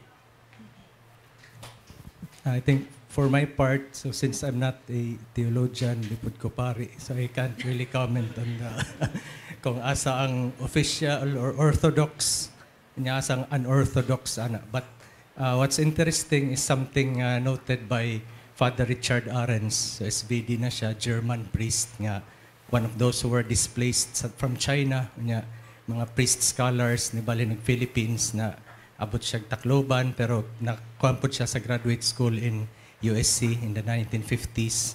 Samantang he went to this uh, pilgrimage shrine sa summer.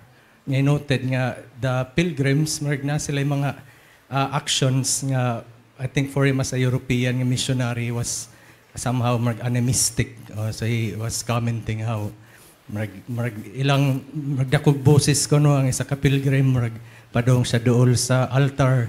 So for him, that he found that strange. Pero I think for a lot of natives, kay, they can't really tell uh, which is orthodox and which is unorthodox. Kaya as mentioned, kada diba na continuities from the pre-colonial nga mga practices and beliefs. So even ang katong sa belief nga ang ancestor helped you with good health, well-being, good crops. Kaya in the 1950s, it was still noted by the anthropologists uh, again, this is a kuan na marag animistic na the belief that your ancestors helped you out with uh, healing and so on. But uh, nasagulan na nga instead of going to Sulad or Saad, which was not actually heaven ang sa pre-colonial times, it was either underground or somewhere not really warm like in ila idea sa heaven in the early 1600s upon the evangelization of the Jesuit kaya nireklamo sila, why would we go up there nga? Perting inita man na dito. Very warm dito sa taas. So, uh, again, another uh, processing nila of the uh, doctrine, of Christian doctrine. But um, in terms of how uh, to categorize it, so again, it might be up to the uh, clergymen or theologians, and I think Father Brian can help me out. Uh, mayong hapon sa tanan. No? Um, as presented, we know that the uh, manifestation of faith is actually in the tangible and visible things. That's why the church is always the patron of the arts and elevating the very dignity of art into a sacred art as the highest uh, form and manifestation of that art. However, when art is uh, being um, called to express faith, that is not the end of it because faith would always translated into devotions and that is where the authenticity comes in. If faith and devotion would lead to conversion that would that is also one of the many considerations of the authenticity of the religiosity. That is why every sort of a miracle the church uh, hierarchy would always come in for a close um, investigation. In order to uh, somehow um, exercise the many faculties of the church, that is, for its teaching faculty, to teach nothing but the truth, and also to lead the souls for its salvation, not uh, leading the souls astray or giving confusions to, uh, to people in, in, such a way that um, it would rather create um, doubts in their minds and their hearts rather than leading towards the truth. And therefore, the church would always exercise this um, that's uh, being careful with its interpretation to manifestations in such a way finding authenticity uh, from it. But in a personal level, as long as the person, there is always that devotion and conversion, then the church would respect on that, no? What if mo ni nakabuutan na ining tawhana nga bisan og wa gideklarar sa simbahan nga official um, so to speak miracle, then that is personal conversion, and the church would always welcome that on that level. But in the level of the hierarchy, there are still a lot of processes, investigations before the church could finally proclaim that such a phenomena is indeed beyond reasonable uh, doubt that this is with the divine intervention and thus be called a miracle. But that is not with the level of our authority that has to proclaim it. It must be coming from, from above.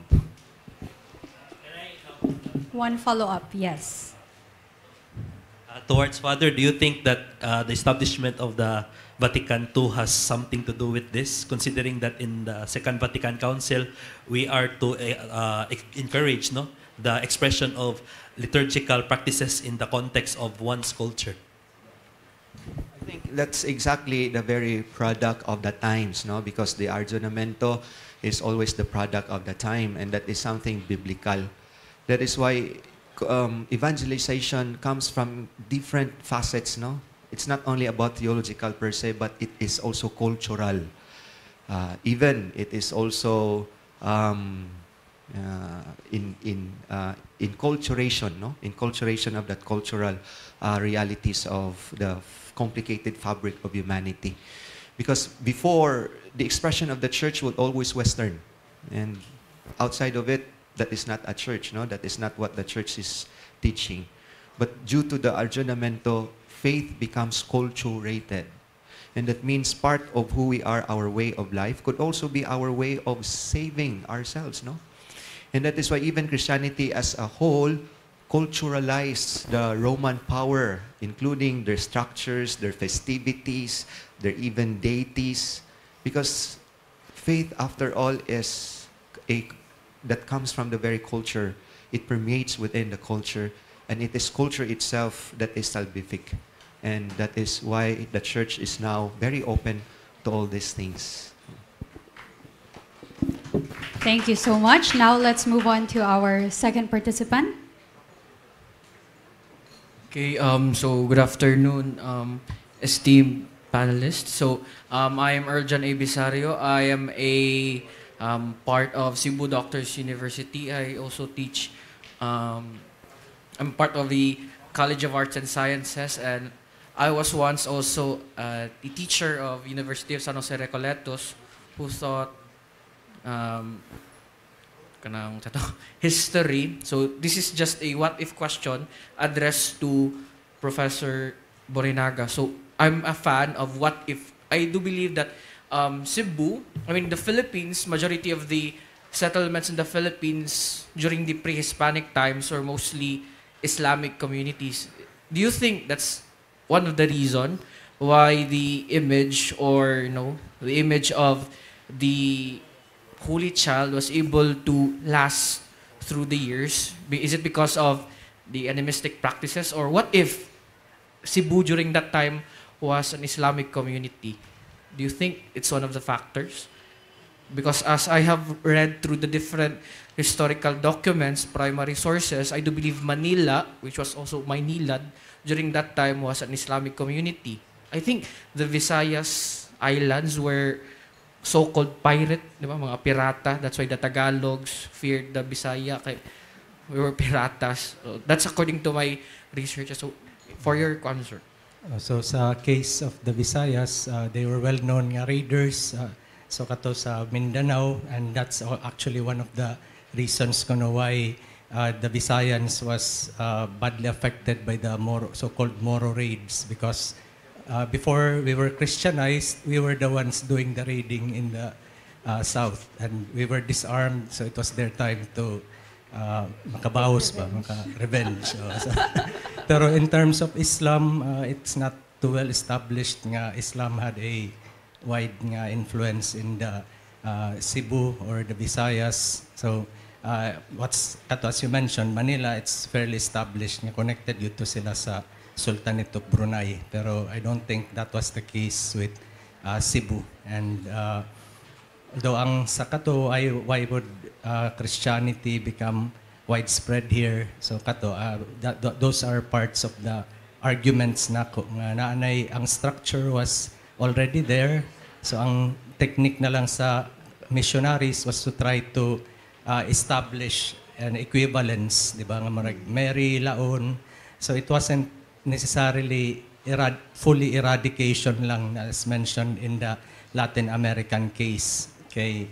Uh, although ang argument is that uh, it, sa Latin America, it wasn't necessarily nga uh, deliberate ang substitution. Pero we can see from those examples sa old dictionaries in the lagda or rule book nga there was a bit of both, di ba nga, na magamit sila old words like sulad for purgatory.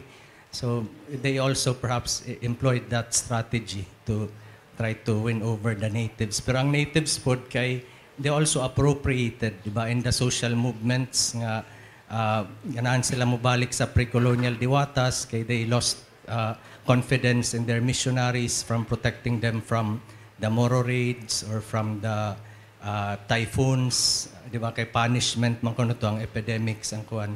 But for the Jesuits, they could also use that as a way of conversion. In fact, ang uh, sa 1590s nga epidemic attributed to Malaon, uh, a lot of people converted because ang style sa Jesuit, they asked for help from the uh, local herbalists. Diba, mga mananambal, kabalo sila sa local cures. So ang collaboration between the Jesuit and some local healers kay nakaproduce apparently sila og cure sa smallpox and that was the attraction for a lot of people sa Bohol, Samar, Leyte. And in fact, ang mga Jesuit chroniclers mismo ang mo-admit nga mo to'y style nila kay naay epidemic so just like how di ba karon COVID nakakita og vaccine ang ila they found some apparent nga cure nga daghang cases nga matambal and that was the basis for a lot of people to flock to the Jesuits kay murag mabuhi kuno ang matagaag baptism. So that's why even today holy water ma-associate na with uh, healing powers, muana ta niya mo. So I think marag may pagka animistic pod na nga na-retain pa nato. But uh, again kana ang is that to be counted like Father Brigoli said nga the church is now open ani nga mga accommodations of older practices nga ni persist. Thank you. Okay, one follow-up question. Okay, thank you so much, um, Professor. So this also addressed to Father Brigoli. So do you think that the building of the different churches is the one of the reasons why Christianity or Roman Catholicism is um, kanang very very well established here in our country? So what if wala tay churches like you know, um, no just like in Europe, but there are hundreds of churches there, and yet no daghan na mga tao murag um, converting to atheism like that? Do you think it's one of the reasons, the building of um, churches? Um, when it comes to the church as a structure or as an edifice, for me, it's really the uh, the lasting, if not the primary um, living testimony of a church that is uh, alive, no? Kay kung wadto ta sa Europe, mas nindot magyud ilang mga simbahan ngadto. Oh, Pero ang problema naabay sud, no? Ato adire bisan og wa pa nahuman, no? Sag nga nagka unsa na gutigislay pero igsod nimo buhi kayo tungod kay daghang kay mga bata mo. Nimba saba-saba sa misa no? Ibilin niyo mga bata kay di ni mangulikta ang ginikanan mo ipasudla and that means uh, even with the edifice as the structure it is somehow symbiotic to how we live our life of faith no um, the church is not being defined by its structure, but it is being defined as a people of God, no? Uh, people in journeying with uh, its spiritual life, journeying for salvation, and so many aspects of our humanity is actually uh, relevant to our being at church. We cannot say that my spirituality is only the realm of the church, my faith is only the realm of my church. Even your work, even your interests, even how, how you live your life in your domestic life, no? is indeed an encompassing um, kind of how it is to be a church. no? There is no dichotomy of life, of faith, in the other aspects of our living. Thank you, Father. We have our third participant who would like to ask a question. Um, I'm Rabbi Mark Icamacho from, I'm a fourth year mark- marketing communication student of the University of San Jose Recoletos. And my question is, it's just a clarification lang. Um, in April 20, 1521, Maja- Ferdinand Magellan arrived in Cebu where he met Raha Humabon and introduced his Christianity to the Philippines. Humabon and around 800 of his followers were baptized, marking the birth of Christianity in the archipelago. My first clarification is, was the image of Santo Niño really a gift, a gift intended for the Philippines? Was the conversion of Raha Humabon and his followers were, were sincere acceptance of Christianity? Or what I mean is that, have they really understood the catechesis of the, the baptism? Or was it driven by political motives to gain an advantage in trade and politics? And lastly, as a contemporary Filipino Catholics, how do we make meaning of this historic moment to an understanding of Philip, Philippines Spanish Friendship Day that we commemorate today? So first is, I mean, was the image of Santo Niño really a gift intended to the Philippines? Second is the if, because there was a baptism, the second question is, was the conversion is really a sincere acceptance of Christianity or not? So it's more of the context. Oh, so sa first question about was it a gift, uh, if you read the Pigafetta account, actually it was Queen Juana who asked for the image. Okay. Kay, di ba, magsige siya balik sa, magpatagad sa Katsila. It di ito, kay he she wanted to get the image because she was, I think, apparently enamored with the uh, child Jesus. So, matong eventually Magellan kato, uh, gave it, pero it wasn't a deliberate nga, it was planned na by Magellan to give the Santo Niño. It was, di ba, ang agency of the Queen. It was she who wanted the image. Pero about what happened about the conversion, was it because of kana na convince sila by the Spanish is very difficult na, di ba? Because we don't have their accounts. It's we can only conjecture. Although si uh, the national artist Dr. Resil Muhares has argued nga nanay political motivation kato si Humabon. Pero what's interesting and this is uh, something argued by Dr. Buen Consejo katong one of the quincentennial nga talks was that uh, that fact nga the Santo Niño was given to the Queen, it acknowledged ang equal, more or less equal status ni Humabon and her queen. Kaya di ba in Europe, it's mainly the king ang uh, i-acknowledge kay kanang kanalaging patriarchal or male centric dominated nga culture pero ang there is sa Visayas at least that giving of the Santo Niño to the Queen is an indication nga ni respect sila sa katong equal status of the Queen and si Raha Humabon.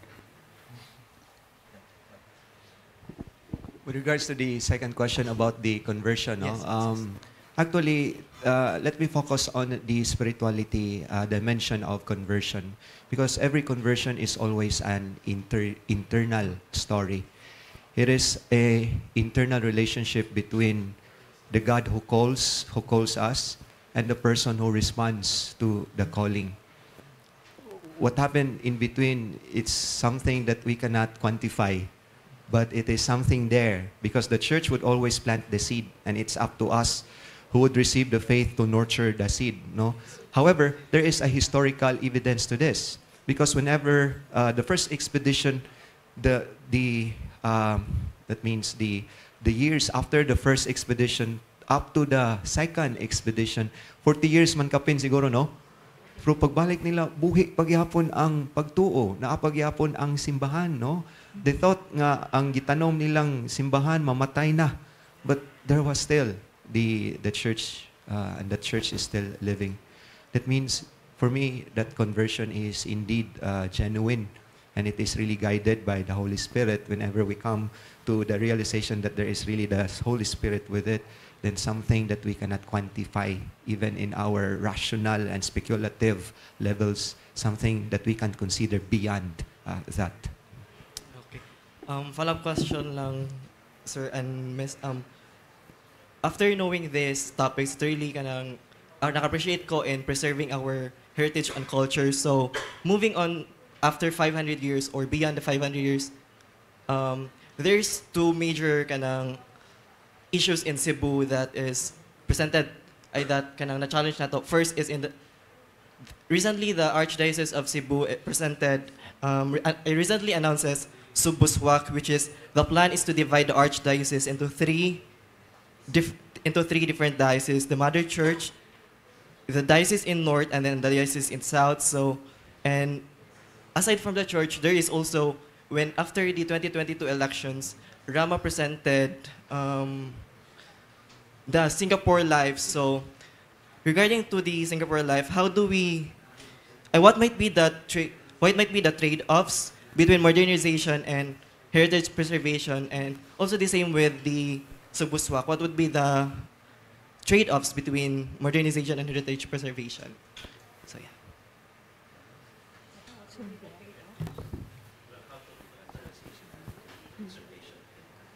Between modernization and heritage preservation. Oh, okay, there should, it, there is an apparent conflict, but there should, should never be. Because, because heritage looks into the past, but doesn't stay there. Heritage considers continuity. In fact, the word conservation uh, refers to the management of change. So it acknowledges the past, but also the possible changes that will happen and how management can help uh, protect the past as well as be open to the acceptance of the, of the future, the present and, and the future. There has to be continuity, and heritage doesn't stop all that. Uh, while, while we protect heritage, we can very well live with today and plan for tomorrow in a conversation with the past. You don't stop, but you converse, and then you a, a conversation between two epochs, if, if you might put it that way. It can it can happen. It is it is not too easy because conservation of heritage is always attended by what we call father no contestation. There is no yes, there is no sorry, there's no decision in heritage conservation that is made by a single person, not by the expert, not by the priest, with due, with due uh, respect to Father, not by, by uh, gu- guidelines from the West, but also with the community participates. It's really a multi-sectoral decision on how to conserve. So even the business sector must come in and the LGUs and the academe. So there's always a consensus and together we move forward while protecting heritage and agreeing on how to do it.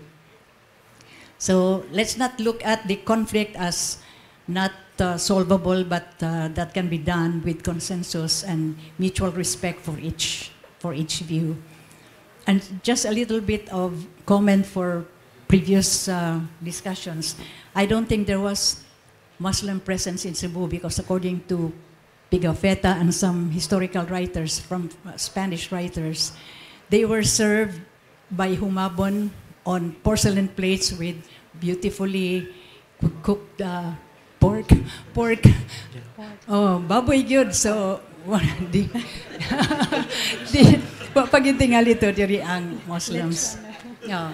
At the same time also, to add lang a little ab- about the the role of backtrack lang ko gamay mamit siya katong role of culture bitaw and the role it played in the acceptance of the Cebuanos to the new to the new faith kuan magod kaning I think God God works with with culture with great with grace ba. Uh, father said that it always begins with God. He he proposes like a new faith. It's up to us to respond.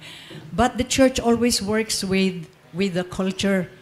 And even King Philip and the royal injunction said whatever is the culture is work within the culture when you Christianize.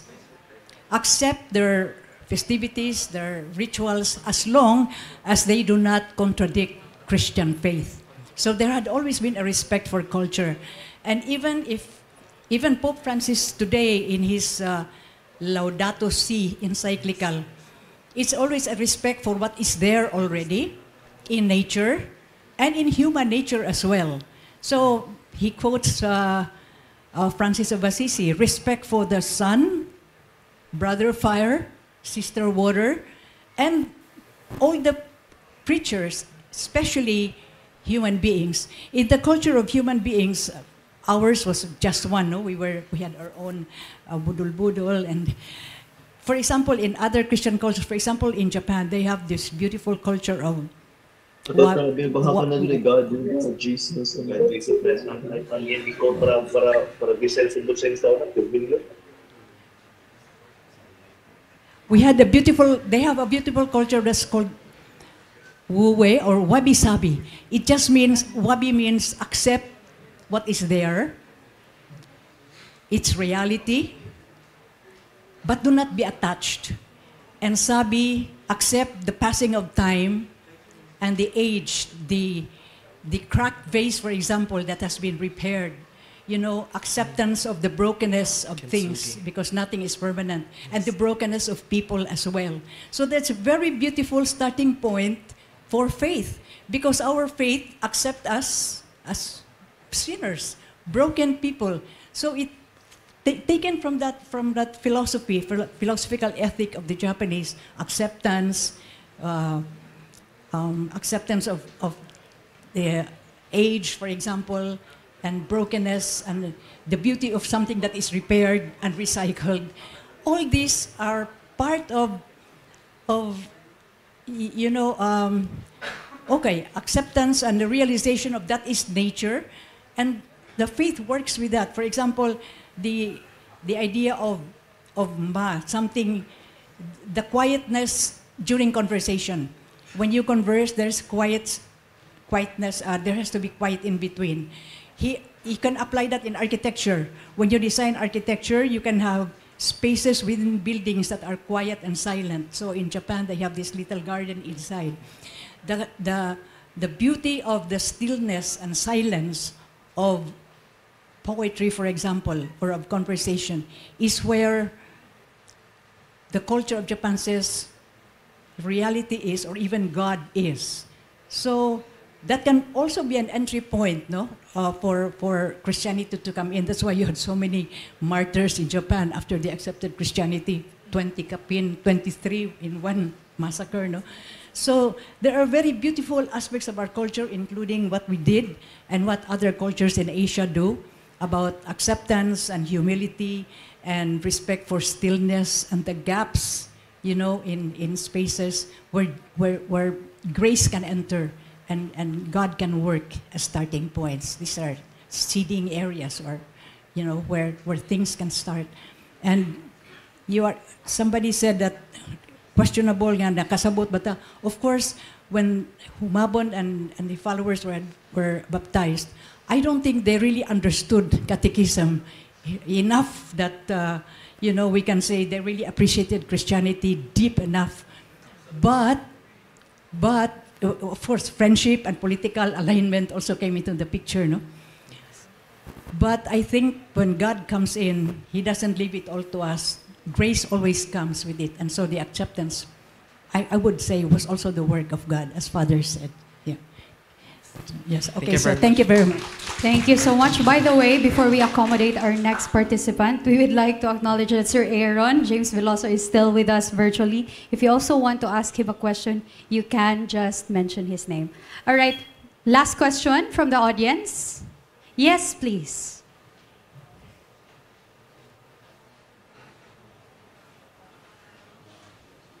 Uh, good afternoon, Father, Architect, and Doctor.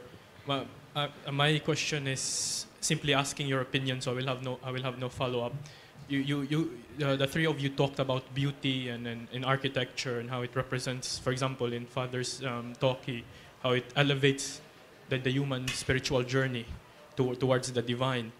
And we, we know for a fact that the medieval churches, the churches in the Renaissance, and even the churches just before contemporary, the contemporary age, they were beautiful. And as Father said, they, they each design has symbolizes an aspect of catechism or, or of our spiritual journey.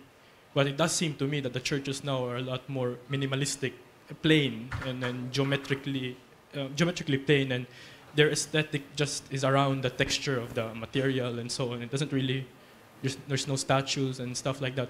And in, in your opinion, is that, is that a harmless trend in architecture, is, or is it uh, does it represent a fundamental loss in understanding beauty, for example? That's, it.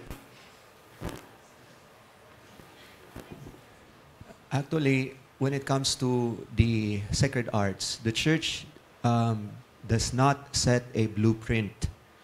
That means the church is not only accepting um, Gothic as uh, the only expression of sacred art. The church does not only canonize um, um, the Baroque, no, uh, genre in which the Spaniards uh, brought that uh, genre here in the Philippines as the only one that can uh, elevate the mind and the soul to the divine. However, the church would only set guidelines of how to make spaces of worship something that inspires, um, teaches, and catechizes. However, if there are churches now being built with such kind of genre, this is not a really a mandate uh, per se of the church, but this is just one of the many expressions, be it in the cultural pattern of the people or be it the product of the time. But the church does, does not have a blueprint of how to create her, her churches to be as such, no? And just to make mention of our separated brethren, di man tayo iglesia ni Kristo nga if you see one, you see all, no? Uh, pero ang katolikong simbahan nag-agad ni sa Espiritu Santo, no? Mingon siguro ta gamay ra ni sila Espiritu Santo na dawat kay sa kini kay mas nindot may lang simbahan. Siguro that could also be possible, no? Or kaning kaning simbahan ng kaning parokyahan ning resist siguro ning Espiritu Santo kay sa kining parokya nga beautiful jud kaayo.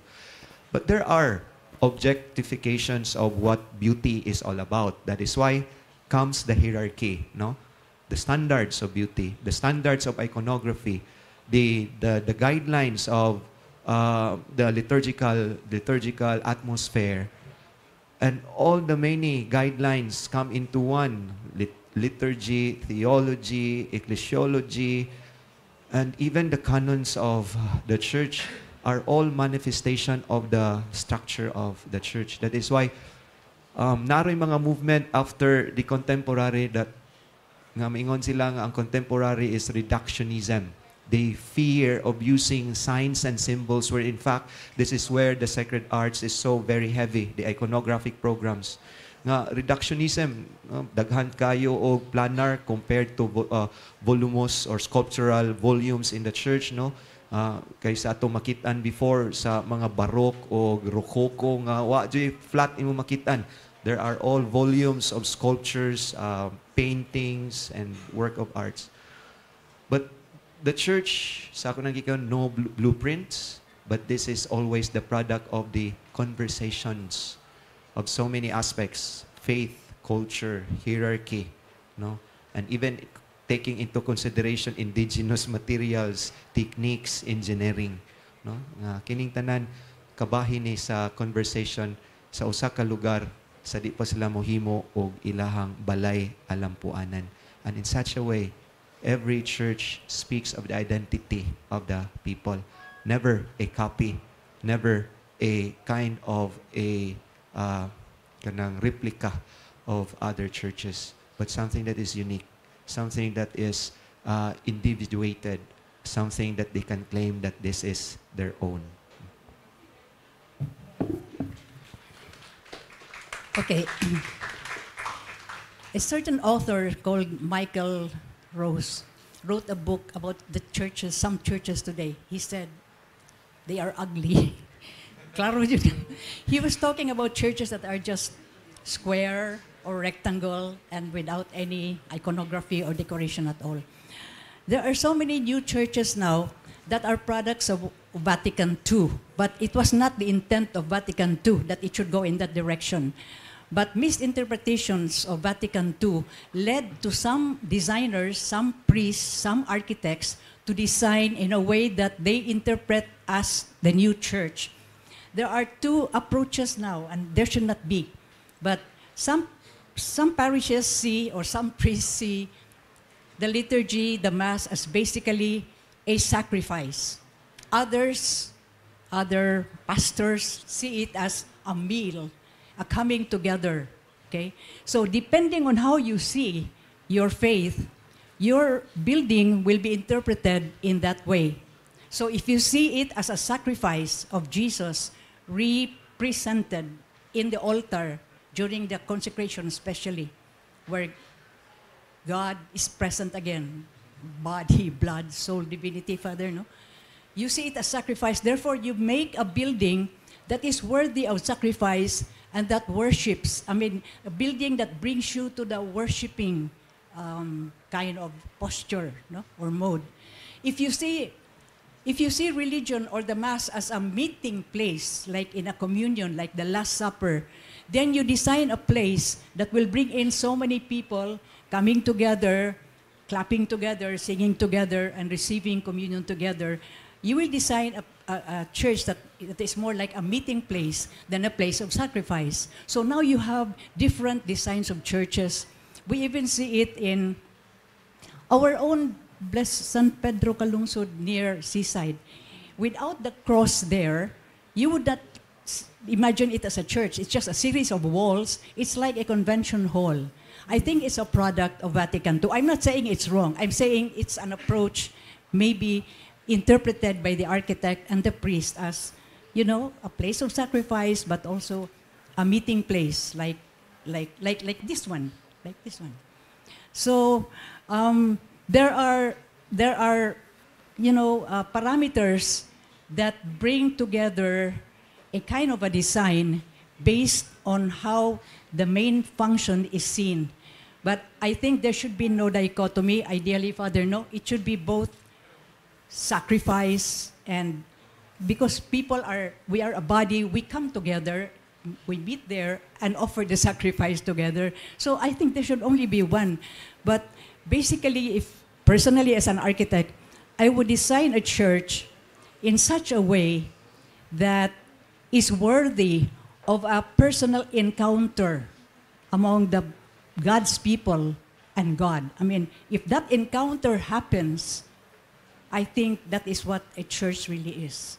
I mean, if you're meeting with one another, that's also good because we're all part of the church, no? And individually God, but it's a communal, it's a communal act- activity, magyod, ang liturgy, no? So, if, if, if a space, if a design brings people together and leads them to an encounter with the divine, I think that's how a church should be as an architect. Sir Aaron, are you still with us? Sir Aaron?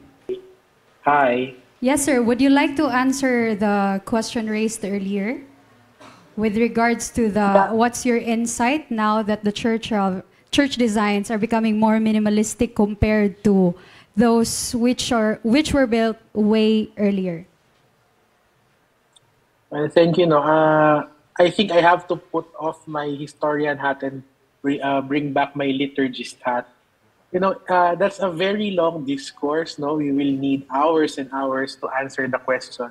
But I guess just drawing from both uh, Architect Melva and Father Brian's uh, Brian's responses, no, uh, churches as all other products of human creativity and human culture speak of the time from which it, it came from no? So uh, if churches now uh, look that way i hope that they were designed uh, with the churchgoer in mind meaning i hope it's something that they can relate to something that is useful for them because at the end of the day whether it's baroque or gothic or or brutalist or postmodernist uh, the purpose of the church really is to facilitate worship. So, it, uh, uh, different sets of people would have different ideas of what a church should look like.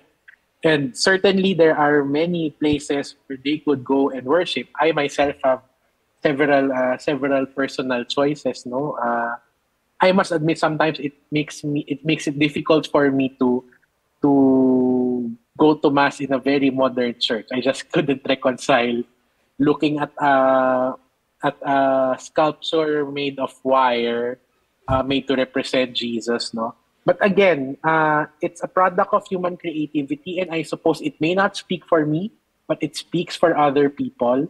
Uh, so hopefully, that space will facilitate uh, worship for uh, a particular kind of people, a particular set of people.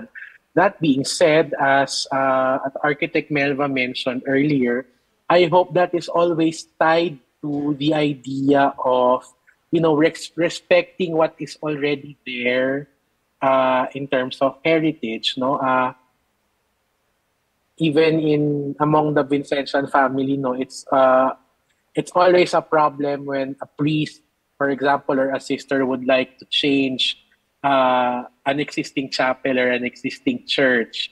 Uh, sometimes not uh, wholly inspired by by the pastoral needs of the people. No? So sometimes I think uh, a good question would be uh, is what I have now already facilitating liturgy?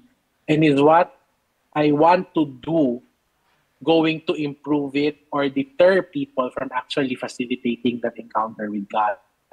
So siguro yun lang yung mga questions sa yung mga questions sa liturgy ang hirap yan ng sagot na yes or no eh. But always it's uh, it's a pastoral approach uh, to help facilitate the encounter between God and people, and also respect for uh, for our heritage, for what is already existing, and also respect for the preferences of other people who might find certain architectural styles uh, inspirational or uh, something that can help them pray better. So yun. Thank you so much, Sir Aaron, for sharing your thoughts. So at this part, the question will be coming from me. so I know that all of the our speakers for today are coming from different fields. We have Father from the church, Architect Melva from the industry, on you know architecture slash engineering. We have Dr. Borinaga from the academe, and we also have um, Sir Aaron coming from a government agency. My question would be, given all your presentations, it made us all realize that Visayas is so rich with cultural properties and built heritage, which tells the history and the story of Filipino spirituality. My question is, what are we doing to capacitate our fellow practitioners in their respective fields. For example, for the church, uh, what are we doing to capacitate the priest? For example, doc, uh, architect Java, what are we uh, doing to capacitate fellow architects and the like? To, so that we can, you know, um, strengthen our efforts for culture and heritage preservation. So let's start with from the academe because we are at the university. Yeah, thank you for the questions. So in terms of uh, ano, promoting knowledge about Visayan culture, especially pre-colonial cultures kay uh, kana, ang NHCP as well as the NCCA put and uh, I for one am a member of one of the national committees on historical research NCCA and that's part of the uh, mandate pod and the advocacy of uh, agencies like the NCCA for us to learn more about who we were before Christianization, before colonization. Kay uh, di ba, even now, we still see elements that uh, can be traced back to the pre-colonial times, including di ba, the power of women or ang uh, bisag ang mga LGBTQIA sa unang, uh, uh, they were the ones, old women or mga gays, sila ang mga priests before. They were the spirit mediums, uh, mga babaylans or asog. And uh, it was the chroniclers who made us aware about these people in the past. Uh, so that's part of the uh, challenge nga we uh, research about research. Uh, our culture and no more. Kay uh, the the missionaries they didn't preach uh, in a vacuum, di ba? There was already a pre-existing culture, uh, pre-existing uh, uh, society that received these new ideas and made it their own. Thus, even though the Spaniards uh, are gone, uh, we're now independent, pero the Santo Niño uh, Roman Catholicism remains strong. Kay it was built on uh, nanay ground in which it was laid and introduced to the Filipinos and the Visayans. Thank you, Sir Bo Dr. Borinaga. And I hope that our students, are you still listening, students? Oh, he mentioned research. So we need more writers that will study our history. So since Dr. Borinaga mentioned the word NCCA, so Uh, before we proceed to our two on-site speakers, Sir Aaron. Sir Aaron, Yes, yes. i- Okay, it's your uh, time to answer the question. One of the things that I am very particular about is writing 20th century history. No, uh, as a church historian, my field, my uh, interest really is to write uh, the history of the church in the 20th century.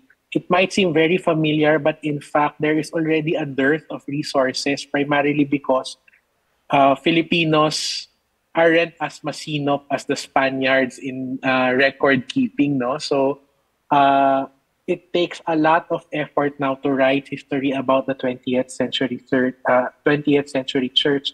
And in Cebu and in other parts of the Philippines, there are a lot of stories to to discover, for example, about how, uh, as I mentioned, no, about, how about uh, how the sisters contributed to uh, the growth and the development of uh, of the Philippine church, but also, for example, the lay movement. Uh, in Cebu, the Action Católica in the 1900s uh, was very strong. No, there are a lot of things that we need to look at and uh, discover and uh, read about and write. Hopefully, so I hope, uh, as uh, Dr. Borinaga mentioned, no, new generations of scholars will will be born and that they will be interested to write about all of these things and also to protect uh, the existing uh, our existing heritage whether it be in uh, built structures like the things that uh, both uh, architect Java and uh, Father Brian takes care but also in other forms like our intangible heritage for example in our spiritual intangible heritages are very rich and in many parts of the Philippines, it's slowly getting lost to time and modernism. The same also in terms of our uh, archival heritage, our movable heritage uh, in in the church. So, there are a lot of things that we can we can work on, and it really takes an interested group of people to to begin to work uh, on these. So I hope no, that uh, opportunities such as these will become the spark that will help uh, more generations of young scholars and heritage lovers and uh, activists to pick up the invitation and actually work. Thank you. Thank you so much, Sir Aaron. Let's move on to Architect Java.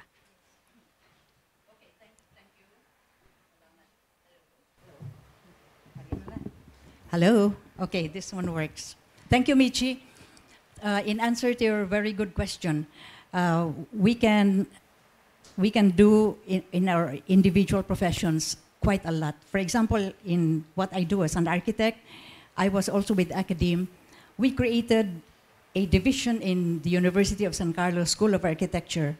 It's called Cherish, Conservation of Heritage um, Workshop, uh, Studio and Workshop. Conservation of Heritage Studio and Workshop, short, in short, Cherish. And the, the academe, the students in Cherish, documented practically all of the churches all around Cebu Island. That documentation helped very much, not only in Cebu, but in Bohol, you know, as part of the Cherish output. That documentation helped a lot in the restoration of the churches after the earthquake. When we went to Bohol and we looked at, we looked at, thank you, we looked at some of the plans used by the contractors. We saw the work of Cherish there. We, we saw our signatures, and it became the, the reference on how to restore because there was a documentation, architectural, um, historical, photographic, even archaeological, and it provided all the facts they needed to make the church stand again. So there's a lot that academe can do. And I've been telling my friends in other schools offering architecture, please train your students also because there's still a lot to be done in Cebu and elsewhere in the country. Documentation comes first because when you lose these things, you can easily retrieve the data and then you can reconstruct if reconstruction is called for. That is when I was in academe. No? Um, I was former dean of the college and then I created this heritage because I really love heritage. After architecture, I took up anthropology because I'm really into the humanities more than the engineering side. That, because I'm very poor in math. So that's okay. Anyway, anyway, I love humanities, and I think in architecture, humanities is a very strong partner because you have to understand the people. When you are building for the people, you have to understand their needs and you have to sympathize with their needs. And you work with the engineers. The engineers are brilliant in academia, uh, in, in, in construction, so we partner with them, so we need them. So that's it in academia. In, in the U- United Architects of the Philippines, after Odette, our young architects together with our group from the NCCA, because I'm also with the NCCA, went to the sites in Cebu that were that whose who were hit by the by the by the Odette by by typhoon the roofs, for example, of Sibonga. Um, convent was just blown off entirely, not just the not just the sheets, but including the framing. So our our UAP group brought their own drone, and then we documented, we, we, we, we did a rapid assessment so that uh, the funding agencies and the technical people can go there and know what happened. So that was a, a what we call it a rapid assessment, and then we, we prioritize the, the bigger uh, damages to be attended to first. Then as part of the my membership sa, sa LGU, mm. because I'm also a, I'm also You're wearing tasked. so many hats. oh, I'm tasked, but it's all related to heritage conservation. I was tasked by the mayor to be member, Kamini Father, to be member of the Cultural Historical Affairs Commission. One of the things that we created was a module, a training module. We just finished last week. It was a seven-week module where we brought in the barangays after the after the ordinance declaring the heritage precinct of Cebu. We looked at the barangays included in that precinct, and then we invited the barangays and the city uh, parks and playgrounds people and some the engineering people to attend a seven-week le- lecture, seminar workshop on what conservation is, what are the, the heritage places in Cebu, uh, how to identify them from pre-Spanish to Spanish to American to modern, and what to do with them at the level of, you know, very basic maintenance and cleaning. And we want to, to uh, repeat that module by February. This time, on a deeper level, we want to, to show them how to identify the pathologies and what to do. And then um, finally, in church, I'm a member of Father Brian's commission. We are also looking into the churches, the different parishes, especially in response to times when they call. And Father Brian is always there ahead of us, and sometimes he calls us to join to join him. And we try to also to explain to the parish priest why this or that should be done or this should not be done. No? Sometimes, again, the priest, Father Lisod, no? Di pa too. Di pa too in town. Doon na sila ideas. So these are the things that we're involved in uh, as a profession, from academe to the LGU to the but most importantly, what we're doing sa CHAC, the community. We want to reach to the, com- the com- to the community because it's not only the experts, not the researchers only, not the architects or the engineers only, but the community itself is the very important component of heritage preservation. Thank you, ma'am. Thank you, architect. Finally, Father. In the church level, uh, we always uh, see that the church will always have a high regard of her artistic and historical patrimony, no? that the cultural assets of um, structures, architectures, paintings, murals, the artistic and historical patrimony. However, coming from the hierarchy of the church, the church is always there to protect these things because these are tools for evangelization. If these things are no longer there, then that would also mar fundamentally the church. And that is why from the hierarchy, we have the Pontifical Commission for the Cultural Heritage of the Church. In the Archdiocesan level, we have the Archdiocesan Commission for the Cultural Heritage of the Church, where both of us, Mamelva, are working together. And even in the parish level, there is also the parochial um, committee or commission for the cultural heritage of the church, whose mandate is to protect the cultural asset of the church as tool for evangelization. And that comes from the proper and scientific conservation efforts. No? Dili lang kutob ug unsay gusto ni Father, kundili mag-agi, musunod yun o mga polisiya, universally accepted policies, no? In order to perpetuate their significance and value, not to eradicate them, not to abolish them, or just a, a pigment of the past's memory. Nga naapatay mapaimana sa sunod nga mga mga henerasyon ug mao ni among trabaho moramig mga pulis no nga what is authentic should always be respected what is authentic should always be there in order to tell us the significance, the story, because that's really imbued and saturated with so much story about who the people are, their journey of faith. Mo amo ang protektahan, no? And it comes with a lot of many mandates, policies, activities, periodical uh, events nga para nako way kahumanan mo na nga kada tuig daghang kayong buhok mga tangtang sa kung oh tungod ni ining dako kaayo nga nga kaning tulumanon. Siguro kaning pari-parihan ako. Dag, dagko sa gainig obligasyon sa kinabuhi, no? Mao na nga we at the managerial level we always in need of the cooperation of the faithful in order for us to really be true to the mandates of the conservation and the perpetuation of the cultural assets of the church as a tool for evangelization. All right, thank you so much to all our speakers for today's Amistad Duradera lecture series part 2. We truly learned so much and gained new insights. So we'd like to show, of course, our appreciation for all your inputs. May I call on on stage Reverend Father Leander Barot together with Mr. Alvin Alcid to present our certificates as well as of tokens of appreciation. These tokens will be awarded to our afternoon speakers. First, we have Reverend Father Brian C. Brigoli from the Archdiocese of Cebu. Let's wait for Father. Ay, here, Father.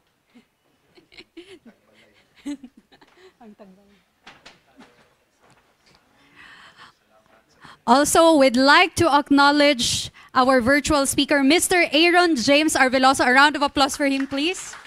Sir, as for your certificate and tokens, we will send it to you courtesy of NHCP. At, so, picture first. And now, can I ask our two speakers, um, Architect Java as well as Dr. Borinaga, to join us in a photo opportunity? And also, I'd also like to acknowledge once again Professor Delilah Labajo, who was here, here earlier today. So a round of applause for all our research speakers.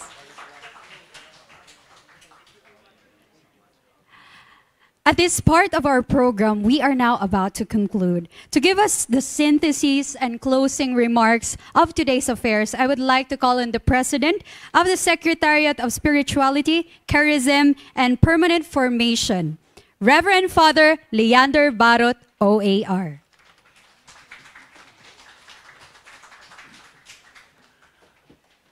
Maing hapon kaninyong tanan. Maing hapon on the occasion of the Friendship Day between sa Spain and Philippines, I always remember our relationship sa pamilya. When we were young, tulumi kabuok, elder ako, unya youngest namong daughter. Uh, kaming duha kaming laki, then we have a younger sister. During our younger days, sige ramig away. Labi na sa akong maguwang. There were conflicts, so forth and so on. But karong time, uh, 58 anyos na ko, pero okay pa akong buhok, brother. Wala taga yung daghang responsibilidad. In other words, wala taga yung daghang responsibilidad. puti lang, puti lang. 58 niya akong elder brother, 60 years old na siya. Uh, and our parents are gone. Wala na away. In other words, we simply have matured. In other words, kining friendship theme of friendship really is about maturity, no? And like also relationship between Spain and and Philippines, it has gone through this. There are light shadows, there are negative and and there are also conflicts. But since we have already matured, most of the negatives and the shadows are left in the footnotes. You know what I mean? When you work on your thesis, the footnotes are only notes, but the major story nasa main line. And thank you for the speakers because they have highlighted precisely the main stories. Many things we've received from this relationship our faith, culture, heritage. These we don't place in the footnotes. We place these in the main story. Or for those who are doing thesis, kabaw ko nga it's not an easy thing, but the main stories and the highlights, we place them. And this, precisely this activity, is one like this, that we recall back the things, the good things we received from the past, from those who came before us. But the challenge is to cherish, protect, but most importantly, to move forward and learn from this. We have to embrace our past. We have to embrace the people and understand the people who came before us so that we can appreciate more who we are and we move forward with graciousness and with much sense of gratitude. To our speakers, na ako'y listahan diri. Architect Melva Java. Asa na tong page to? Ano wa? Na. Uh, Professor Delilah Labajo, Reverend Father Brian Briguli, Mr. Aaron James Veloso, thank you for bringing back to our memory our heritage, our culture, and this is the challenge for us to keep them alive in our hearts and in our consciences. Thank you. God bless. Adelante. Thank you so much, Father Barot. Wow. Now we are finally coming to a close. Did you learn something? Wow. Can I hear a louder yes if you learned something for today? Wow. But since it's uh, Philippine Spanish Friendship Day, can I hear a C? Oh, okay, that's uh, that's more convincing. So First, thank you so much for allocating your time here at the university. It's actually our mental health day. So they can they are actually free to choose what they want to do, but they still chose to be with us here for this session. So first, thank you so much to our on-site participants. That's for the USJR participants. Now we also have here the different faculty members of different colleges and universities. Let's give them a round of applause. Di lang obvious nga daghan kay ni sila gihuna-huna kay napa may murag pila ning nipis ang buhok. Once again, this is Amistad Duradera Lecture Series. Feature, our title is Faith and Humanity, the Visayas and Spain's Role in Filipino Spirituality. This is an official program of the Philippine Spanish Friendship Day. We'd also like to acknowledge that this is organized by the National Historical Commission of the Philippines in partnership with the University of San Jose Recoletos. We would also like our collaborators, Cebu City's Cultural and Historical Office, Cultural and Historical Affairs Commission, Local Historical Committees Network. Thank you, thank you so much. Let's give them a round of applause. And of course, those are the agencies and organizations. We'd also like to say our special gratitude to Mr. Emmanuel Nadella for being one of our key sponsors. Thank you so much, Sir Eman. And to everyone who joined us online from our morning session to afternoon session, daghan kaayong salamat. And I'm sure that you have learned quite a lot, and I hope that you will replay and share this episode to a lot of your friends. Ladies and gentlemen, one more time, buenas tardes, soy Mitzi. Muchas gracias.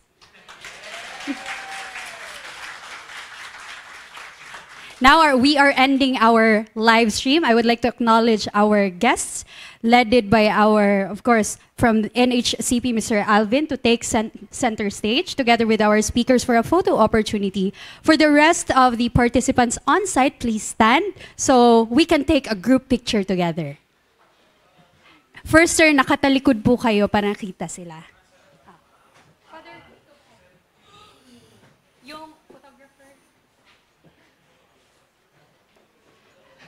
Is Father Barot still around? Okay.